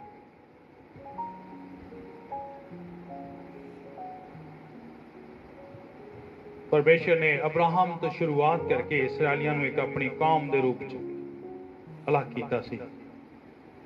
ਔਰ ਪਰਮੇਸ਼ਰ ਉਹਨਾਂ ਦੇ ਨਾਲ ਚੱਲਦਾ ਰਿਹਾ। ਕਿੱਡਾ ਲੰਬਾ ਸਫ਼ਰ ਤੈਅ ਕਰਕੇ ਕਿੱਥੇ ਤੱਕ ਆਏ, ਯੀਸ਼ੂ ਇਸ ਵੇਲੇ ਗੱਲ ਕਰ ਰਹੇ ਆ, ਉਸ ਵੇਲੇ ਉਹ ਪਰਮੇਸ਼ਰ ਦੇ ਸੱਦੇ ਨੂੰ ਸਵੀਕਾਰ ਕਰਕੇ ਬਰਕਤਾਂ ਲਾ ਕੇ ਵਧੀਆ ਜੀਵਨ ਤਾਂ ਲੈ ਲਿਆ, ਪਰ ਪਰਮੇਸ਼ਰ ਦੇ ਜ਼ਿੰਮੇਵਾਰੀ ਵਾਲੇ ਕੰਮਾਂ ਦੇ ਲਈ ਉਹ ਅੱਗੇ ਨਾ ਆਏ। ਇਸ ਕਰਕੇ 22 ਦੀ 8 ਪੜ ਦਈਏ ਕੀ ਕਹਿਣਾ ਪਿਆ? 22 32 22 ਦੀ 8 22 ਚ ਰਹਿਣਾ ਆਪਾਂ? ਅੱਗੇ ਪਿੱਛੇ ਜਾਂਦੇ ਰਹਾਂਗੇ। ਮੱਤੀ ਦੀ ਅੰਜੀਲ 22 ਅਧਿਆਇ ਉਹਦੀ 8 ਆਇਤ ਤਦ ਉਹਨੇ ਆਪਣੇ ਚਾਕਰਾਂ ਨੂੰ ਆਖਿਆ ਵਿਆਹ ਦਾ ਸਮਾਨ ਤਾਂ ਤਿਆਰ ਹੈ ਪਰ ਸੱਦੇ ਹੋਏ ਨਲਾਇਕ ਹਨ। ਯੀਸ਼ੂ ਨੇ ਕੀ ਕਿਹਾ ਸੀਗਾ? ਵਿਆਹ ਦਾ ਸਮਾਨ ਤਾਂ ਕਹਿੰਦਾ ਤਿਆਰ ਆ ਪਰ ਸੱਦੇ ਹੋਏ ਕੀ ਆ? ਨਲਾਇਕ ਨਿਕਲ ਗਿਆ ਯੀਸ਼ੂ ਨੇ ਕਿਹਾ ਸੀਗਾ, ਫਸਲ ਤਾਂ ਤਿਆਰ ਆ, ਪਰ ਵਾਢੇ ਥੋੜੀ ਇਸ ਵੇਲੇ ਵੀ ਫਸਲ ਤਿਆਰ ਆ। ਵਾਢਿਆਂ ਨੇ ਤਾਤੀਆਂ ਹੀ ਸੁੱਟ ਦਿੱਤੀਆਂ। ਪ੍ਰਾਰਥਨਾ ਜਾਂਦੀ ਰਹੀ, ਸੰਗਤ ਜਾਂਦੀ ਰਹੀ। ਜੀਵਨ ਕਿੱਥੇ ਚਲਾ ਗਿਆ? ਕਿਹੜੇ ਕੰਮਾਂ ਜਾ ਕੇ ਬਹਿ ਗਿਆ ਸੀ? ਸਾਡਾ ਸੱਦਾ ਇਸ ਲਈ ਨਹੀਂ ਹੈ। ਚਰਚ ਲਈਏ ਬਰਕਤਾਂ ਪਾਈਏ, ਵੱਡੇ ਘਰ ਬਣਾ ਲਈਏ, ਕੋਠੀਆਂ, ਕਾਰਾਂ ਬਣਾ ਲਈਏ, ਆਨੰਦ ਰੱਖ ਜਾ ਕੇ ਅਸੀਂ ਆਰਾਧਨਾ ਕਰ ਲਈਏ ਔਰ ਅਸੀਂ ਪਰਮੇਸ਼ਰ ਦੇ ਲੋਕ ਹਾਂ। ਨਾ, ਸਾਡਾ ਸੱਦਾ ਇਸ ਕੰਮ ਦਾ ਨਹੀਂ। ਅਜੀ ਜੋ, ਸਾਡਾ ਸੱਦਾ ਇੱਕ ਨੰਬਰ ਤੇ ਪਵਿੱਤਰਤਾਈ ਦਾ ਆ। ਅਲੱਗਤਾਈ ਦਾ ਆ। ਨਵੇਕਲਪਣ ਦਾ ਆ। ਮੇਰੇ ਦੁਆਲੇ ਕੀ ਹੋ ਰਿਹਾ, ਮੈਨੂੰ ਫ਼ਰਕ ਨਹੀਂ ਪੈਂਦਾ। ਮੈਂ ਚੁਣਿਆ ਗਿਆ ਹਾਂ ਹੁਣ। ਮੈਂ ਅਲੱਗ ਕੀਤਾ ਗਿਆ ਹਾਂ ਹੁਣ। ਮੈਂ ਇੱਕ ਵੱਖਰਾ ਜੀਵਨ ਜੀਣਾ ਆ। ਇਸ ਗੱਲ ਲਈ ਸਾਡਾ ਸੱਦਾ ਆ, ਔਰ ਅਸੀਂ ਗਵਾਹ ਹੋਣਾ ਆ ਧਰਤੀ ਦੇ ਬੰਨੇ ਤੀਕਰ। ਸਾਡਾ ਸੱਦਾ ਆ। ਅਸੀਂ ਧਰਤੀ ਦੇ ਨੂਰ ਆਉਣ ਲਈ ਸੱਦੇ ਗਏ ਆ ਕਿ ਧਰਤੀ ਨੂੰ ਮਸੀਹ ਦੇ ਸਵਾਦ ਨਾਲ ਭਰ ਦਈਏ। ਅਸੀਂ ਯੀਸ਼ੂ ਮਸੀਹ ਦੀਆਂ ਚਿੱਠੀਆਂ ਆ, ਜਿਹਨੂੰ ਲੋਕ ਪੜ੍ਹ ਕੇ ਪਰਮੇਸ਼ਰ ਨੂੰ ਗ੍ਰਹਿਣ ਕਰਨ, ਯੀਸ਼ੂ ਨੂੰ ਗ੍ਰਹਿਣ ਕਰਨ। ਅਸੀਂ ਯੀਸ਼ੂ ਮਸੀਹ ਦੇ ਰਾਜਦੂਤ ਹਾਂ ਹੁਣ ਸਾਡਾ ਸੱਦਾ ਇਹਨਾਂ ਕੰਮਾਂ ਲਈ। ਧਰਤੀ ਉੱਤੇ ਸੁਖ ਸਾਧਨ ਨੂੰ ਹਾਸਲ ਕਰਕੇ ਔਰ ਉਹਦੇ ਵਿੱਚ ਹੀ ਜੀਵਨ 'ਚ ਖਾਣਾ ਤਾਂ ਤਿਆਰ ਆ, ਪਰ ਸੱਦੇ ਹੋਏ ਨਲਾਇਕ ਆ। ਸੱਚਮੁੱਚ ਪਰਮੇਸ਼ਰ ਕੀ ਚਾਹੁੰਦਾ ਆ ਸਾਡੇ ਜੀਵਨ 'ਚ ਲੱਭਣਾ ਬਹੁਤ ਜ਼ਰੂਰੀ ਹੈ। ਕਿਸੇ ਨੂੰ ਵੀ ਇਸ ਕਰਕੇ ਨਹੀਂ ਸੱਦਿਆ ਗਿਆ ਕਿ ਤੁਹਾਡੇ ਘਰ 'ਚ ਰੋਟੀ ਹੈ ਨਹੀਂ, ਆ ਜਾਓ, ਚਰਚ ਹੁਣ ਤੁਹਾਡੇ ਘਰ ਰੋਟੀਆਂ ਵਧੀਆ ਪੱਕਣ ਲੱਪਣਗੀਆਂ। ਜੇ ਕੋਈ ਇਹ ਸੰਦੇਸ਼ ਹੀ ਦਿੰਦਾ ਆ ਤੇ ਉਹ ਸੁਸਮਾਚਾਰ ਨਹੀਂ ਹੈ। ਸਾਨੂੰ ਕਿਸੇ ਲਈ ਵੀ ਇਸ ਕਰਕੇ ਸੱਦਾ ਨਹੀਂ ਦਿੱਤਾ ਗਿਆ ਸਾਡਾ ਸੱਦਾ ਇਸ ਲਈ ਨਹੀਂ ਆ ਕਿ ਤੈਨੂੰ ਕੈਂਸਰ ਆ, ਤੂੰ ਚਰਚ ਆ ਔਰ ਤੈਨੂੰ ਆਰਾਮ ਮਿਲ ਜਾਏਗਾ। ਸਾਡਾ ਸੱਦਾ ਇਸ ਲਈ ਨਹੀਂ ਹੈ ਕਿ ਤੁਹਾਡਾ ਕੰਮਕਾਰ ਠੀਕ ਨਹੀਂ ਹੈ, ਤੁਸੀਂ ਆਓ, ਤੁਹਾਡਾ ਕੰਮ ਚੰਗਾ ਹੋ ਜਾਊਗਾ। ਇਹ ਸੱਦਾ ਨਹੀਂ ਹੈ। ਸਾਡਾ ਸੱਦਾ ਹੈ ਪਵਿੱਤਰਤਾ ਦੇ ਲਈ। ਸਾਡਾ ਸੱਦਾ ਹੈ ਪਰਮੇਸ਼ਰ ਦੇ ਅਧੀਨਗੀ ਨਾਲ, ਆਗਿਆਕਾਰੀ ਨਾਲ ਕੰਮਾਂ ਨੂੰ ਅੰਜਾਮ ਦੇਣ ਦੇ ਲਈ। ਸਾਡੀਆਂ ਬਿਮਾਰੀਆਂ, ਸਾਡੇ ਘਰ ਦੀਆਂ ਬਰਕਤਾਂ, ਸਾਡੇ ਜੀਵਨ ਦੀਆਂ ਲੋੜਾਂ ਪਰਮੇਸ਼ਰ ਨੇ ਸਾਨੂੰ ਬਹੁਤਾਇਤ ਨਾ ਦੇਣੀਆਂ ਆ। ਇਹਨਾਂ ਲਈ ਪ੍ਰਾਰਥਨਾ ਕਰਨਾ ਜਾਂ ਮੰਗਣਾ ਗਲਤ ਗੱਲ ਨਹੀਂ ਹੈ। ਪਰ ਅਸੀਂ ਹੁਣ ਕੌਣ ਆ? ਸਾਨੂੰ ਕਾਦੇ ਲਈ ਬੁਲਾਇਆ ਗਿਆ? ਸਾਡਾ ਕੰਮ ਕੀ ਨਿਰਧਾਰਤ ਕੀਤਾ ਗਿਆ? ਉਹ ਅਸੀਂ ਸਮਝਣਾ ਆ, ਸਾਡੀ ਕਾਲਿੰਗ ਕਾਦੇ ਲਈ ਹੈ?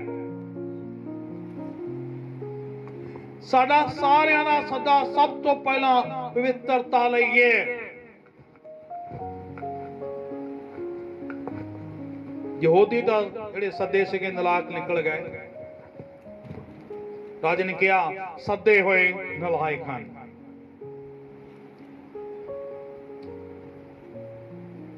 ਇੱਕ ਗੱਲ ਮੈਂ ਤੁਹਾਨੂੰ ਕਹਿਣਾ ਚਾਹਾਂਗਾ ਸਾਰਿਆਂ ਨੂੰ।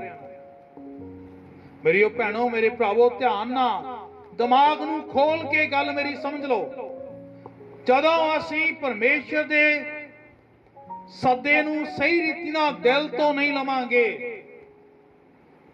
ਕਾਰਡ ਫੜ ਕੇ ਰੱਖਣ ਨਾਲ ਵਿਆਹ 'ਚ ਸ਼ਾਮਲ ਹੋਣਾ ਨਹੀਂ ਹੈ ਦਾਵਤ ਜਾਣਾ ਨਹੀਂ ਹੈ ਦਾਵਤ ਵਾਲੇ ਦਿਨ ਦਾਵਤ 'ਚ ਦਿਸਣਾ ਤੇ ਆਪਣੀ ਬਣਦੀ ਜ਼ਿੰਮੇਵਾਰੀ ਜਿਹੜੇ ਭੈਣ ਭਰਾ ਤੁਹਾਨੂੰ ਸੌਂਪਣ, ਉਹਨੂੰ ਪੂਰੀਆਂ ਕਰਨਾ, ਉਹ ਦਾਵਤ 'ਚ ਜਾਣਾ ਹੈ। ਪਰਮੇਸ਼ਰ ਸਾਨੂੰ ਪਿਆਰ ਕਰਦਾ ਹੈ। ਪਰਮੇਸ਼ਰ ਸਾਨੂੰ ਕਿਸੇ ਗੱਲ ਦੀ ਤੰਗੀ 'ਚ ਨਹੀਂ ਰਹਿਣ ਦੇਵੇਗਾ। ਉਹ ਸਾਨੂੰ ਹਰ ਬਰਕਤ ਦੇਵੇਗਾ, ਹਰ ਬਿਮਾਰੀ ਤੇ ਜਿੱਤ ਬਖਸ਼ੇਗਾ, ਮੁਸ਼ਕਲਾਂ ਤੇ ਜਿੱਤ ਬਖਸ਼ੇਗਾ, ਇਹ ਸਚਾਈ ਹੈ। ਪਰ ਤਦ ਅਸੀਂ ਪ੍ਰਭੂ ਦੇ ਵਿੱਚ ਵਫਾਦਾਰ ਗਿਣੇ ਜਾਵਾਂਗੇ। ਜਦੋਂ ਅਸੀਂ ਉਹਦੇ ਸੱਦੇ ਅਨੁਸਾਰ ਦੌੜੇ ਚੱਲੇ ਉਹਦੇ ਕੋਲ ਜਾਵਾਂਗੇ, ਕਹਾਂਗੇ, ਪ੍ਰਭੂ, ਮੈਂ ਹਾਜ਼ਰ ਹਾਂ। ਕੌਣ ਮੇਰੇ ਲਈ ਜਾਵੇਗਾ? ਕਹਿੰਦਾ, ਪ੍ਰਭੂ, ਮੈਂ ਹਾਜ਼ਰ ਹਾਂ। ਮੈਨੂੰ ਭੇਜ। ਅੱਜ ਸਾਨੂੰ ਬਾਲਿਆਂ ਨੂੰ ਯਿਸੂ ਸੱਦਾ ਦੇ ਰਿਹਾ। ਮੁੜ ਕੇ ਬੁਲਾ ਰਿਹਾ ਆ ਜਾ ਹੁਣ ਉੱਠ, ਆ ਜਾ ਹੁਣ ਕੰਮ ਕਰ। ਹੁਣ ਲੱਤਾਂ ਦੁਖਣ ਲੱਗ ਪਈਆਂ, ਹੁਣ ਸਿਰ ਦੁਖਣ ਲੱਗ ਪਿਆ, ਹੁਣ ਨਿਆਣੇ ਦਿਸਣ ਲੱਗ ਪਏ, ਹੁਣ ਪਰਿਵਾਰ ਦਿਸਣ ਲੱਗ ਪਏ, ਹੁਣ ਘਰ ਦੀਆਂ ਚੀਜ਼ਾਂ ਜਿਹੜੀਆਂ ਆ ਗਈਆਂ, ਉਹ ਉਹ ਚੋਰ ਨਾ ਚੋਰੀ ਕਰਕੇ ਲੈ ਜਾਵੇ। ਰਾਖੀ ਲੈ ਕਰ ਬਹਿਣਾ ਲੱਗ ਆਉਣ ਲੱਗ ਪਿਆ। ਵਣਜ ਵਪਾਰ ਨੂੰ ਚਲ ਗਿਆ। ਆਪਣੇ ਸੱਦੇ ਨੂੰ ਪਛਾਣਿਆ। ਇਹ ਗੱਲ ਮੈਂ ਕਹਿਣਾ ਚਾਹੂੰਗਾ। ਜੇਕਰ ਅਸੀਂ ਵੀ ਯਹੂਦੀਆਂ ਵਾਂਗ ਆਪਣੇ ਸੱਦੇ ਦੇ ਅਨੁਸਾਰ ਚਾਲ ਨਾ ਚੱਲੇ ਥੋੜਾ ਯਹੂਦੀਆਂ ਬਾਰੇ ਮੈਂ ਤੁਹਾਨੂੰ ਦੱਸਣਾ ਚਾਹਾਂਗਾ। ਜਦੋਂ ਯਹੂਦੀਆਂ ਨੇ ਯੀਸ਼ੂ ਦੁਆਰਾ ਸੱਦੇ ਨੂੰ ਸਵੀਕਾਰ ਨਾ ਕੀਤਾ, ਯੀਸ਼ੂ ਤੋਂ ਬਾਅਦ ਦੀ ਗੱਲ ਕਰਦਾ ਮੈਂ। ਜਿਹੜੇ ਪਰਮੇਸ਼ਰ ਦੀ ਕੌਮ ਸੀਗੇ, ਜਿਹੜੇ ਪਰਮੇਸ਼ਰ ਦੇ ਲੋਕ ਸੀਗੇ, ਜਿਨ੍ਹਾਂ ਨੇ ਅਪਾਰ ਬਰਕਤਾਂ ਪਾਈਆਂ ਸੀਗੀਆਂ, ਹਜ਼ਾਰਾਂ ਬਰੇ ਪੂਰੀ ਦੁਨੀਆ 'ਚ ਖਿਲਰੇ ਰਹੇ, ਕਿਉਂਕਿ ਇਹਨਾਂ ਨੇ ਪਰਮੇਸ਼ਰ ਦੀ ਆਵਾਜ਼ ਨੂੰ ਨਹੀਂ ਸੁਣਿਆ। ਹਜ਼ਾਰਾਂ ਬਰਿਆਂ ਤੱਕ ਯਹੂਦੀਆਂ ਦੇ ਕੋਲ ਆਪਣਾ ਮੁਲਕ ਤੱਕ ਨਹੀਂ ਸੀਗਾ। ਅੱਜ ਵੀ ਇੱਕ ਛੋਟਾ ਜਿਹਾ ਮੁਲਕ ਹੈਗਾ, ਉਹਨਾਂ ਦਾ ਜਿਹੜਾ ਯਹੂਦੀਆਂ ਦਾ ਕਹਾਉਂਦਾ, ਇਸਰਾਇਲ। ਅੱਜ ਵੀ ਸਾਰੀ ਦੁਨੀਆ 'ਚ ਖਿਲਰੇ ਫਿਰਦੇ ਆ ਯਹੂਦੀ। ਜੀਜੋ ਜਦੋਂ ਅਸੀਂ ਪਰਮੇਸ਼ਰ ਦੀ ਆਵਾਜ਼ ਨੂੰ ਨਹੀਂ ਸੁਣਦੇ ਅਸੀਂ ਨਲਾਇਕ ਨਿਕਲ ਜਾਵਾਂਗੇ, ਤਾਂ ਪਰਮੇਸ਼ਰ ਸਾਨੂੰ ਧੱਕ ਦਿੰਦਾ ਆ, ਛੱਡ ਦਿੰਦਾ ਆ। ਇਫਸੀਆਂ 4 ਦੀ ਇੱਕ। ਪੌਲਸ ਤੇ ਬਹੁਤ ਹੀ ਸਟਰੋਂਗ ਸ਼ਬਦਾਂ ਦੇ ਨਾਲ ਬੇਨਤੀ ਕਰਦਾ ਆ ਰਿਕੁਐਸਟ ਕਰਦਾ ਆ। ਬਹੁਤ ਹੀ ਅਧੀਨਗੀ ਨਾਲ ਬੇਨਤੀ ਕਰਦਾ ਆ। ਇਫਸੀਆਂ ਦੀ, ਕਲਸੀਆ ਦੇ ਲੋਕਾਂ ਨੂੰ ਚੇਤਾ ਕਰਾਉਂਦਾ ਆ ਕਿ ਤੁਸੀਂ ਯਹੂਦੀਆਂ ਵਾਂਗ ਨਾ ਨਿਕਲਣਾ। ਹਾਂਜੀ। ਅਫਸੀਆਂ ਦੀ ਪੱਤਰੀ, ਚੌਥਾ ਅਧਿਆਏ, ਉਹਦੀ ਇੱਕ ਆਇਤ ਉਪਰੰਤ ਮੈਂ ਜੋ ਪ੍ਰਭੂ ਦੇ ਨਿਮਿਤ ਕੈਦੀ ਹਾਂ, ਤੁਹਾਡੇ ਅੱਗੇ ਬੇਨਤੀ ਕਰਦਾ ਹਾਂ, ਜੋ ਤੁਸੀਂ ਜਿਸ ਸੱਦੇ ਨਾਲ ਸੱਦੇ ਹੋਏ ਹੋ, ਉਹਦੇ ਯੋਗ ਚਾਲ ਚੱਲੋ। ਬਹੁਤ ਹੀ ਅਧੀਨਗੀ ਨਾਲ ਹੱਥ ਬੰਨ ਕੇ ਬੇਨਤੀ ਕਰਦਾ ਉਹਨਾਂ ਨੂੰ। ਤੁਸੀਂ ਯਹੂਦੀਆਂ ਵਰਗੇ ਨਲਾਇਕ ਨਾ ਨਿਕਲ ਜਾਇਓ। ਜੀਜੋ ਮੇਰੀਓ ਭੈਣੋ, ਮੇਰੇ ਭਰਾਵੋ, ਅੱਜ ਪਰਮੇਸ਼ਰ ਸਾਨੂੰ ਇਹੋ ਹੀ ਕੁਝ ਪੌਲਸ ਵਸੀਲੇ ਕਹਿ ਰਿਹਾ ਹੈ। ਆਪਣੇ ਸੱਦੇ ਦੇ ਅਨੁਸਾਰ ਚਾਲ ਚੱਲੋ। ਸਾਡਾ ਸੱਦਾ ਅਸੀਂ ਸਵੀਕਾਰ ਕਰ ਚੁੱਕੇ ਹਾਂ, ਕਾਰਡ ਲੈ ਲਿਆ ਆ ਅਸੀਂ। ਆਵਾਂਗੇ। ਉਹ ਕੀ ਆ? ਤੋਬਾ ਕਰ ਲਈ ਹੈ ਬਪਤਿਸਮਾ ਲੈ ਲਿਆ ਆ ਔਰ ਚਰਚ ਆਉਣ ਲੱਗ ਪਏ ਆ ਥੋੜਾ ਬਹੁਤਾ ਚੰਦਾ ਵੀ ਦੇਣ ਲੱਗ ਪਏ ਆ। ਪਰ ਵਫਾਦਾਰੀ ਨਾਲ ਨਹੀਂ, ਆਗਿਆਕਾਰੀ ਨਾਲ ਨਹੀਂ, ਅਧੀਨਗੀ ਨਾਲ ਨਹੀਂ ਜਿੱਦਾਂ ਪਰਮੇਸ਼ਰ ਚਾਹੁੰਦਾ ਆ, ਜਿਹੜੇ ਕੰਮ ਨੂੰ ਸੱਦਾ ਦਿੰਦਾ ਆ ਜਾ ਹੁਣ, ਉਦੋਂ ਅਸੀਂ ਸਾਈਡ ਦੀ ਹੋ ਕੇ ਨਿਕਲਣਾ ਚਾਹੁੰਦੇ ਆ। ਕਹਿੰਦਾ, ਆਪਣੇ ਸੱਦੇ ਦੇ ਅਨੁਸਾਰ ਸੱਦੇ ਦੇ ਯੋਗ ਚਾਲ ਚੱਲੋ। ਅਸਾਂ ਨੂੰ ਆਪਣੇ ਸੱਦੇ ਲਈ ਸੁਚੇਤ ਹੋਣ ਦੀ ਲੋੜ ਆ। ਜੇ ਅਸੀਂ ਪਰਮੇਸ਼ਰ ਦੀ ਆਵਾਜ਼ ਨੂੰ ਨਾ ਸੁਣਿਆ, ਤਾਂ ਪਰਮੇਸ਼ਰ ਸਾਨੂੰ ਵੀ ਤਿਆਗ ਦੇਵੇਗਾ। ਗਲਾਤੀਆਂ 5 ਦੀ 1 ਦੇ ਵਿੱਚ ਪੌਲਸ ਇਸ ਤਰ੍ਹਾਂ ਕਹਿੰਦਾ ਆ ਆਜ਼ਾਦੀ ਲਈ ਮਸੀਹ ਨੇ ਸਾਨੂੰ ਆਜ਼ਾਦ ਕੀਤਾ ਆ ਭਾਈ। ਤੁਹਾਡਾ ਸੱਦਾ ਕੀ ਆ ਹੁਣ? ਆਜ਼ਾਦੀ ਨਾਲ ਚੱਲਣ ਦਾ। ਹੁਣ ਤੁਸੀਂ ਪਾਪ ਦੇ ਗੁਲਾਮ ਨਹੀਂ ਰਹੇ।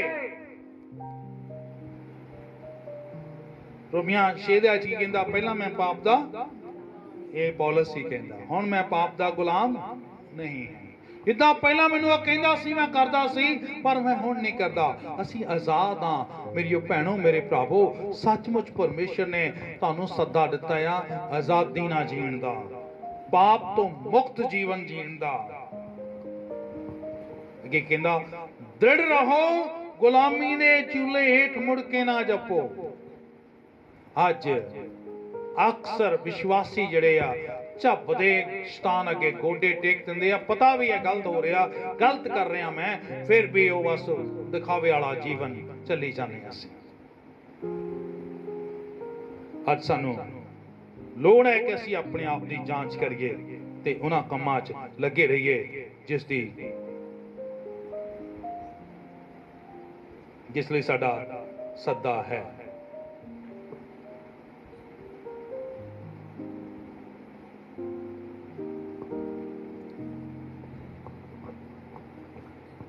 ਸੱਚਮੁੱਚ ਇਥੇ ਸਾਨੂੰ ਧਿਆਨ ਦੇਣ ਦੀ ਲੋੜ ਹੈ। 22 ਦੀ 9 ਦੇ ਵਿੱਚ ਜਿੱਥੇ ਸਾਨੂੰ ਸੱਦਾ ਦਿੱਤਾ ਗਿਆ ਸੀਗਾ, ਔਰ ਅਸੀਂ ਚੌਂਕਾਂ ਚੋਂ, ਬਾਜ਼ਾਰਾਂ ਚੋਂ ਸਾਰੇ ਇਕੱਠੇ ਹੋ ਕੇ ਉਹਦਾ ਘਰ ਬੇਲੀਆਂ ਨਾਲ ਭਰ ਗਿਆ। ਅਸੀਂ ਉਹ ਲੋਕ ਆ ਜਦੋਂ ਯਹੂਦੀਆਂ ਨੇ ਇਨਕਾਰ ਕਰ ਦਿੱਤਾ ਪਰਮੇਸ਼ਰ ਦੀ ਆਵਾਜ਼ ਨੂੰ ਸੁਣਨ ਲਈ, ਉਹ ਸੱਦੇ ਦੇ ਅਨੁਸਾਰ ਨਾ ਚੱਲੇ, ਉਹ ਪਾਪ ਤੋਂ ਛੁੱਟ ਕੇ ਧਾਰਮਿਕਤਾ ਵਿੱਚ ਜੀਵਨ ਬਤੀਤ ਕਰਨਾ ਉਹਨਾਂ ਨੇ ਕਬੂਲ ਨਾ ਕੀਤਾ। ਉਹ ਦਿਖਾਵੇ ਦੇ ਧਰਮੀ ਬਣ ਗਏ। ਤਾਂ ਪਰਮੇਸ਼ਰ ਨੇ ਉਹਨੂੰ ਛੱਡ ਦਿੱਤਾ। ਉਹਨੂੰ ਕਿਹਾ, ਸੱਦੇ ਹੋਏ ਨਲਾਇਕਾ ਕਿਤੇ ਪਰਮੇਸ਼ਰ ਸਾਨੂੰ ਵੀ ਇਨਾਇਤਾਂ ਕਰੇ ਇੱਕ ਗੱਲ ਹੋਰ ਜਿਹੜੀ ਮੈਂ ਸਾਂਝ ਕਰਨਾ ਚਾਹਾਂਗਾ ਤੁਹਾਡੇ ਨਾਲ। 12 ਐਤ 22 ਦੀ। ਸੱਦਾ ਦਿੱਤਾ ਗਿਆ ਔਰ ਮੇਲੀਆਂ ਨਾਲ ਘਰ ਭਰ ਗਿਆ। ਰਾਜਾ ਬੜਾ ਆਨੰਦ ਆ ਔਰ ਸਾਰਿਆਂ ਨੂੰ ਛੋਟਿਆਂ ਬੜਿਆਂ ਨੂੰ ਦੇਖ ਕੇ ਕਹਿ ਰਿਹਾ, ਸ਼ਾਬਾਸ਼, ਆ ਲਓ, ਆ ਖਾਓ ਆ ਖਾਓ, ਆਪ ਨਿੱਜੀ ਤੌਰ ਤੇ ਸਾਰਿਆਂ ਨੂੰ ਬੜੇ ਆਨੰਦ ਦੇ ਨਾਲ ਸ- ਖਿਲਾ ਪਿਲਾ ਰਿਹਾ। ਪਰ ਜਦੋਂ ਫਿਰਦਾ ਆ ਵਿੱਚ, ਉੱਥੇ ਨਿਗਾਹ ਪੈਂਦੀ, ਪੜ੍ਹੀਏ ਇਤਿਹਾਸ ਵਿੱਚ ਕੀ ਹੈ? ਮਤੀ ਦੀ ਅੰਜੀਲ 22 ਅਧਿਆਇ ਦੀ 12 ਆਇਤ 11 12 11 ਪੜ੍ਹੇ ਜੀ ਪਰ ਜਦ ਪਿਆਸ਼ਾ ਮੇਲੀਆਂ ਨੂੰ ਵੇਖਣ ਅੰਦਰ ਆਇਆ ਤਦ ਉੱਥੋਂ ਇੱਕ ਮਨੁੱਖ ਨੂੰ ਡਿਠਾ ਜਿਹੜਾ ਵਿਉਣਾ ਕੱਪੜਾ ਪਹਿਨਿਆ ਹੋਇਆ ਨਾ ਸੀ ਅਤੇ ਉਹਨੂੰ ਕਿਹਾ ਬਸ ਕਾਫੀ ਹੈ ਪੂਰੀ ਕਰ ਦੋ ਠੀਕ ਹੈ ਅਤੇ ਉਹਨੂੰ ਕਿਹਾ ਭਾਈ ਤੂੰ ਇੱਥੇ ਵਿਉਣੇ ਕੱਪੜੇ ਬਾਝੋਂ ਕਿਸ ਤਰ੍ਹਾਂ ਅੰਦਰ ਆਇਆ? ਇਹ ਤਾਂ ਵਿਆਹ ਆ ਭਾਈ ਤੈਨੂੰ ਸੱਦਾ ਦਿੱਤਾ ਗਿਆ ਤੂੰ ਵਿਆਹਣੇ ਕੱਪੜੇ ਤੋਂ ਬਿਨਾਂ ਇੱਥੇ ਕਿੱਦਾਂ ਆ? ਗਿਆ ਪਰ ਉਹ ਚੁੱਪ ਹੀ ਰਹਿ ਗਿਆ। ਉਹ ਚੁੱਪ ਹੀ ਰਹਿ ਗਿਆ। ਇਹਦਾ ਮਤਲਬ ਕੀ ਹੈ? ਜਿਹੜੀ ਗੱਲ ਮੈਂ ਪਹਿਲਾਂ ਕੀਤੀ ਉਹੀ ਹੈ? ਅੱਜ ਅਸੀਂ ਸੱਦੇ ਨੂੰ ਸਵੀਕਾਰ ਕੀਤਾ ਤੌਬਾ ਕੀਤੀ ਬਪਤਿਸਮਾ ਲੈ ਲਿਆ ਚਰਚ ਜੀਣ ਲੱਗ ਪਏ ਇੱਕ ਪੁਰਾਣੀਆਂ ਫੋਟੋ ਲਾਤੀਆਂ ਹੁਣ ਅਸੀਂ ਨਵੀਂ ਯੀਸ਼ੂ ਦੀ ਫੋਟੋ ਲਿਆ ਕੇ ਲਾਤੀ ਹੈ। ਅਕਸਰ ਮੈਂ ਕਹਿੰਦਾ ਹੁੰਦਾ ਸੀਗਾ, ਅੱਜ ਤੋਂ 26 27 ਸਾਲ ਪਹਿਲਾਂ ਕਿ ਆਮ ਸਾਡੇ ਘਰਾਂ 'ਚ ਇਹ ਗੱਲ ਸੀ, ਫੋਟੋ ਹੀ ਬਦਲ ਸੀ, ਬਾਕੀ ਕੁਝ ਨਹੀਂ ਸੀ ਬਦਲਦਾ।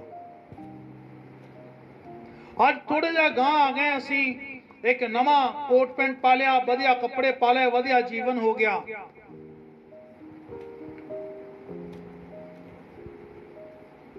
ਉਹ ਲੋਕਾਂ ਨੇ ਸੱਚਮੁੱਚ ਪਰਮੇਸ਼ਰ ਦਾ ਵਚਨ ਲੈ ਲਿਆ, ਤੌਬਾ ਕੀਤੀ, ਬਪਤਿਸਮਾ ਲੈ ਲਿਆ, ਚਰਚ ਸ਼ੁਰੂ ਕਰ ਲਿਆ। ਪਰ ਉਹਨਾਂ ਨੇ ਵਿਆਹਣੇ ਕੱਪੜੇ ਨਹੀਂ ਪਾਏ। ਵਿਆਹਣੇ ਕੱਪੜੇ ਪਾਉਣ ਦਾ ਮਤਲਬ ਕੀ ਹੈ? ਤਿਆਰੀ। ਵਿਆਹ ਕਿੱਦਾਂ ਕਰਦੇ ਆ? ਫਟਾਫਟ ਉਦੋਂ ਹੀ ਚੱਕ ਕੇ ਪਾ ਕੇ ਤੁਰ ਪੈਂਦੇ ਮੀਟਿੰਗ ਤੇ ਜਾਣ ਲਈ ਤਾਂ ਕਈ ਵਾਰੀ ਉਦੋਂ ਹੀ ਪਾ ਕੇ ਤੁਰ ਪੈਂਦੇ ਆਪਾਂ। ਉਦਾਂ ਵੀ ਉਦੋਂ ਹੀ ਪਾ ਕੇ ਜਦੋਂ ਵਿਆਹ ਹੁੰਦਾ, ਉਦੋਂ ਨਹੀਂ ਕਰਦੇ? 15 ਦਿਨ ਪਹਿਲਾਂ। ਲਹਿੰਗਾ ਬੁੱਕ ਹੁੰਦਾ ਆ, ਪ੍ਰੈਸ ਹੁੰਦਾ ਆ ਡਰਾਈ ਕਲੀਨ ਹੁੰਦਾ ਆ। ਕੋਟ ਪੈਂਟ ਪਸੀਨੇ ਦਿੱਤੇ ਜਾਂਦੇ ਆ। ਫੁੱਲ ਤਿਆਰੀ। ਹੁਣ ਕਈ ਕਹਿੰਦੇ ਹੋਣੇ ਆ ਵੀ ਇੱਥੇ ਤਾਂ ਸੜਕਾਂ ਤੋਂ ਫੜ ਕੇ ਲਗਿਆ ਤੇ ਉਹਨਾਂ ਦੇ ਕੱਪੜੇ ਉੱਦੇ ਹੋਣੇ। ਨਹੀਂ। ਜਿਹੜੀ ਸੜਕਾਂ ਤੋਂ ਸੱਦਾ ਦਿੱਤਾ ਕਿ ਫੜ ਕੇ ਨਹੀਂ ਲਗਾਏ ਗਏ ਸੀ। ਉਹ ਆਪਣੇ ਘਰਾਂ ਨੂੰ ਗਏ ਸੀ ਉਹਨਾਂ ਨੇ। ਆਪਣੇ ਘਰ ਜਿਹੜੇ ਇਦਾਂ ਵਿਆਹ ਲਈ ਜਿੰਨੇ ਵੀ ਸਾਫ਼ ਸੁਥਰੇ ਕੱਪੜੇ ਹੋ ਸਕਦੇ ਸੀਗੇ, ਧੋਤੇ ਹੋਣਗੇ, ਨਵੇਂ ਹੋਣਗੇ, ਦੋ ਵਾਰੀ ਪਾਏ ਹੋਣਗੇ, ਉਦਾਂ ਹੀ ਜੇ ਬਾਹਰ ਚੌਂਕਾ 'ਚ ਖੜਾ ਕੋਈ ਨਿੱਕਰ ਪਾ ਕੇ ਮੇਰੇ ਵਰਗਾ ਹੋਇਆ, ਵਿਆਹ ਆ, ਤੇ ਉਦਾਂ ਹੀ ਨਹੀਂ ਤੁਰ ਪਿਆ। ਉਹ ਕੀ ਘਰ ਗਿਆ, ਉਹਨੇ ਜਾ ਕੇ ਮੂੰਹ ਹੱਥ ਧੋਤਾ, ਨਹਾਤਾ, ਫਟਾਫਟ ਨਹਾ ਕੇ ਉਹਨੇ ਕੋਟ ਪੈਂਟ ਪਾਇਆ, ਟਾਈ ਲਾਈ, ਬੂਟ ਪਾਇਆ, ਫੇਰ ਆਇਆ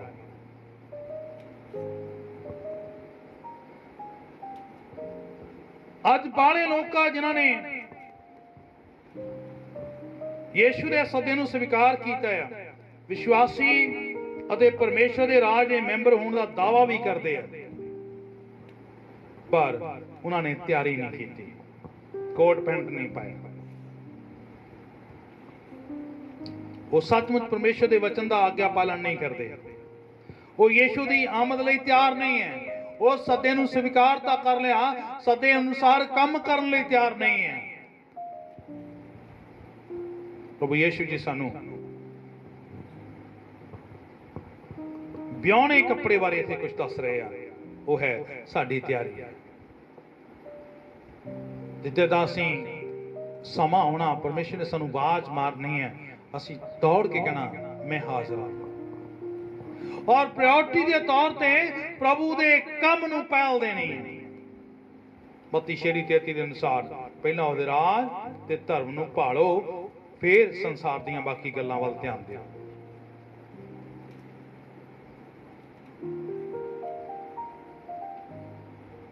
ਅੱਜ ਸਾਨੂੰ ਪ੍ਰਭੂ ਯੀਸ਼ੂ ਚੇਤੇ ਕਰਵਾ ਰਹੇ ਆ ਕਿ ਅਸੀਂ ਆਪਣੇ ਆਪ ਦੀ ਜਾਂਚ ਕਰੀਏ ਕਿ ਅਸੀਂ ਵਿਆਹਣਾ ਕੱਪੜਾ ਪਾਇਆ ਕਿ ਅਸੀਂ ਤਿਆਰ ਹਾਂ ਪ੍ਰਭੂ ਦੇ ਲਈ ਹਮੇਸ਼ਾ।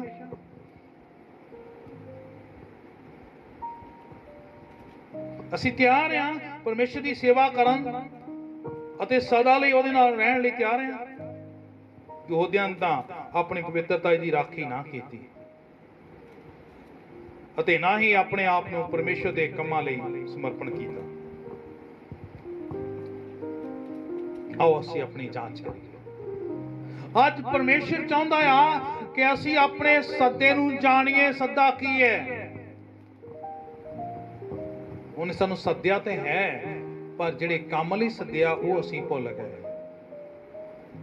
ਯੋਹਨਾ 15 ਦੀ 16 ਕੀ ਕਹਿੰਦਾ, ਤੁਸੀਂ ਮੈਨੂੰ ਨਹੀਂ, ਪਰ ਮੈਂ ਤੁਹਾਨੂੰ ਚੁਣਿਆ। ਉਹ ਤਾਂ ਠੀਕ ਹੈ, ਚੁਣ ਲਿਆ। ਉਹ ਤੋਂ ਗਾਂ ਵਾਲੀ ਗੱਲ ਜਿਹੜੀ ਹੈ, ਅਸੀਂ ਭੁੱਲ ਗਏ। ਕੀ ਕਹਿੰਦਾ? ਤਾਂ ਜੋ ਤੁਸੀਂ ਜਾਓ ਔਰ ਜਾ ਕੇ ਫਲ ਲਿਆਓ ਔਰ ਤੁਹਾਡਾ ਫਲ ਕਾਇਮ ਰਹੇ। ਕਿਹੜਾ ਫਲ ਲਿਆਉਣਾ ਹੈ? ਅੰਬ ਲਿਆਉਣੇ ਆ? ਲੰਗੜੇ ਅੰਬ, ਟੋਕਰੀ ਭਰ ਕੇ। ਉਹੀ ਅੱਜ ਕੱਲ ਚੱਲਦੇ ਵਧੀਆ। ਹਾਂ, ਦਸਹਿਰੀ ਹੈਗਾ ਹਜੇ ਉਹਦਾ ਪਹਿਲੇ ਵਾਲਾ ਉਹ ਜਿਹੜਾ ਸੀ, ਉਹ ਤਾਂ ਖਤਮ ਹੋ ਗਿਆ। ਕਿਹੜੇ ਫਲ ਕਹਿੰਦਾ?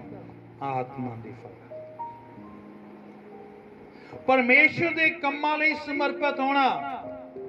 ਉਹ ਤਦ ਹੀ ਹੋ ਸਕਦਾ, ਪਰਮੇਸ਼ਰ ਸਾਨੂੰ ਸੱਦਾ ਦਿੱਤਾ ਆ, ਸਾਨੂੰ ਆਜ਼ਾਦੀ ਲਈ ਸੱਦਾ ਦਿੱਤਾ ਆ, ਸਾਨੂੰ ਆਜ਼ਾਦ ਕੀਤਾ ਆ ਉਹਨੇ। ਪਾਪ ਦੀ ਗੁਲਾਮੀ ਤੋਂ ਛੁਡਾ ਕੇ ਪਰਮੇਸ਼ਰ ਦੀ ਸੰਤਾਨ ਹੋਣ ਦਾ ਹੱਕ ਦਿੱਤਾ ਆ।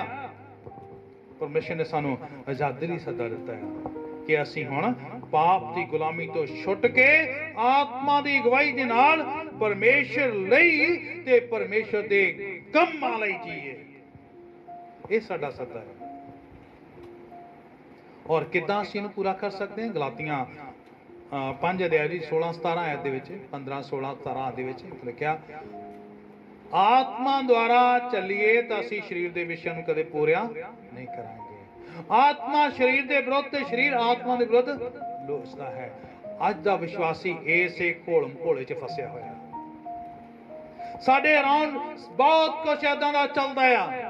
ਪ੍ਰਭੂ ਨੇ ਸਾਨੂੰ ਸੱਦਾ ਦਿੱਤਾ ਆ। 27 ਸਾਲ ਤੋਂ ਮੈਂ ਇਸ ਗੱਲ ਦਾ ਪ੍ਰਚਾਰ ਕਰਦਾ ਆ ਰਿਹਾ ਕਿ ਸੱਚਮੁੱਚ ਸਾਡਾ ਜੀਵਨ ਕਿੱਦਾਂ ਦਾ ਹੋਣਾ ਚਾਹੀਦਾ? ਪ੍ਰਭੂ ਲਈ ਕਿੱਦਾਂ ਜੀਣਾ ਆ? ਸਿਰਫ ਬਪਤਿਸਮਾ ਲੈਣਾ, ਬਾਈਬਲ ਚੱਕਣੀ, ਇਹ ਸੱਦਾ ਸਿਰਫ ਕਾਰਡ ਲੈ ਕੇ ਘਰ ਰੱਖਣਾ ਆ।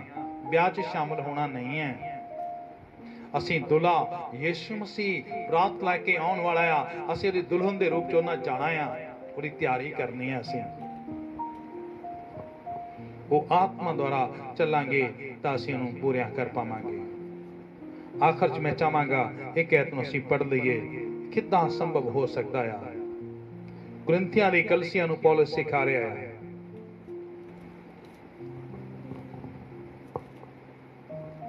ਪਹਿਲਾ ਕੁਰਿੰਥੀਆਂ 15 ਅਧਿਆਇ ਉਹਦੀ 58 ਹੈ ਫਸਟ ਕੁਰਿੰਥੀਅਨ ਚੈਪਟਰ 15 58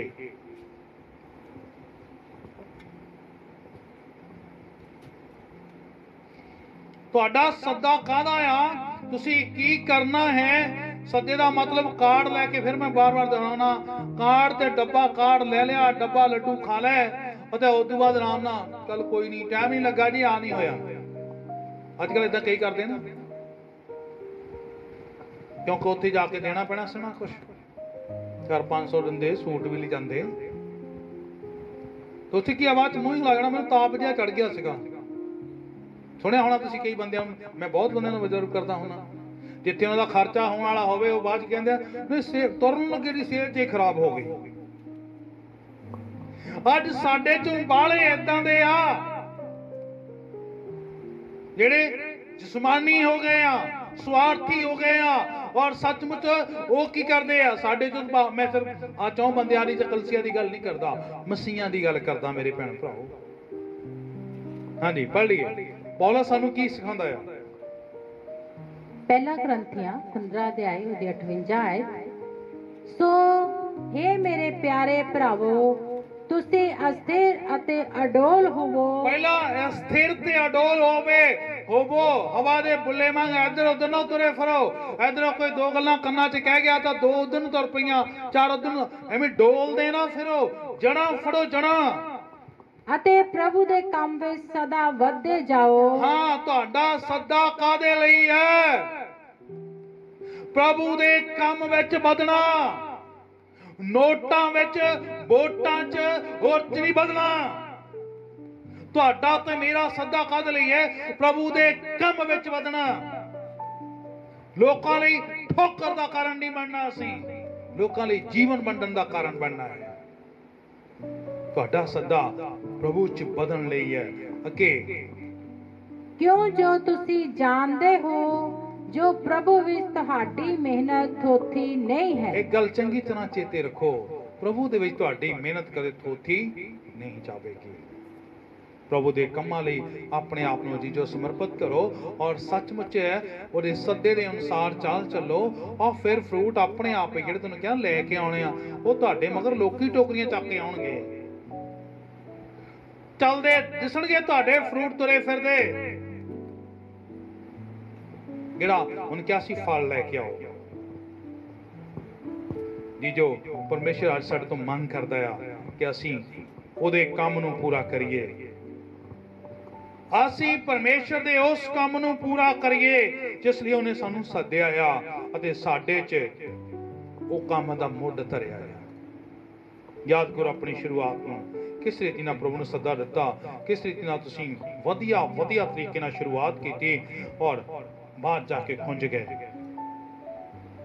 ਅਜੀਜੋ, ਸਾਡੇ ਸਾਰਿਆਂ ਲਈ ਹੁਣ ਖੁਸ਼ੀ ਦੀ ਗੱਲ ਆ, ਮੈਂ ਕਹਿੰਨਾ ਕਿ ਅਸੀਂ ਉਹਦੇ ਸੱਦੇ ਨੂੰ ਕਬੂਲ ਕੀਤਾ ਆ।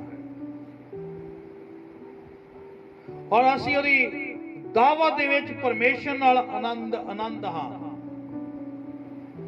ਅਸੀਂ ਆਪਣੇ ਸੱਦੇ ਦੇ ਅਨੁਸਾਰ ਚੱਲਦੇ ਹਾਂ ਜਿਨੇ ਪ੍ਰਭੂ ਦੀ ਆਵਾਜ਼ ਨੂੰ ਸੁਣਦੇ ਆ ਔਰ ਹਮੇਸ਼ਾ ਪ੍ਰਭੂ ਨੂੰ ਪਾਲ ਦਿੰਦੇ ਆ, ਉਹ ਪ੍ਰਭੂ ਨਾਲ ਆਨੰਦ ਰਹਿਣ ਵਾਲੇ ਲੋਕ ਆ। ਆਓ ਅਸੀਂ ਇੱਕ ਵਾਰ ਫੇਰ ਆਪਣੇ ਸੱਦੇ ਦੀ ਜਾਂਚ ਕਰੀਏ ਕਿ ਅਸੀਂ ਆਪਣੇ ਸੱਦੇ ਦੇ ਯੋਗ ਚੱਲਦੇ ਆ ਜਾਂ ਨਹੀਂ। ਅੱਜ ਹੀ ਨਵੀਂ ਸ਼ੁਰੂਆਤ ਕਰੀਏ। ਆਖਰ ਚ ਦੋ ਅੱਖਰ ਮੈਂ ਕਹਿ ਕੇ ਸਮਾਪਤੀ ਕਰਾਂਗਾ। ਇਹ ਗੱਲ ਤੈਅ ਆ ਕਿ ਅਸੀਂ ਜਿੱਥੋਂ ਸ਼ੁਰੂਆਤ ਕੀਤੀ ਸੀਗੀ, ਮੁੜ ਕੇ ਉੱਥੋਂ ਜਾ ਕੇ ਤਾਂ ਸ਼ੁਰੂਆਤ ਨਹੀਂ ਹੁਣ ਕਰ ਸਕਦੇ।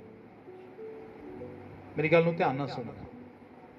ਜਿੱਥੋਂ ਸ਼ੁਰੂਆਤ ਕੀਤੀ ਸੀਗੀ, ਉੱਥੋਂ ਜਾ ਕੇ ਮੁੜ ਕੇ ਸ਼ੁਰੂਆਤ ਨਹੀਂ ਕਰ ਸਕਦੇ। ਜੋ ਵਿਗੜ ਗਿਆ, ਖਰਾਬ ਹੋ ਗਿਆ, ਉਹਨੂੰ ਠੀਕ ਨਹੀਂ ਕਰ ਸਕਦੇ।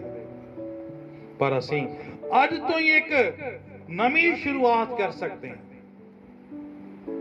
ਔਰ ਪਰਮੇਸ਼ਰ ਅੱਜ ਤੁਹਾਨੂੰ ਸੱਦਾ ਦੇ ਰਿਹਾ ਆ, ਫਿਰ ਬੁਲਾ ਰਿਹਾ ਆ ਜਿੱਦਾਂ ਰਾਜੇ ਨੇ ਉਹ ਸੱਦੇ ਹੋਏ ਲੋਕਾਂ ਨੂੰ ਸੱਦਣ ਵਾਸਤੇ ਭੇਜਿਆ ਸੀਗਾ। ਅੱਜ ਪਰਮੇਸ਼ਰ ਨੇ ਮੈਨੂੰ ਤੁਹਾਡੇ ਕੋਲ ਭੇਜਿਆ ਆ। ਤੁਸੀਂ ਸੱਦੇ ਹੋਏ ਲੋਕ ਆ, ਪਰਮੇਸ਼ਰ ਤੁਹਾਨੂੰ ਬੁਲਾ ਰਿਹਾ ਆ, ਆਓ।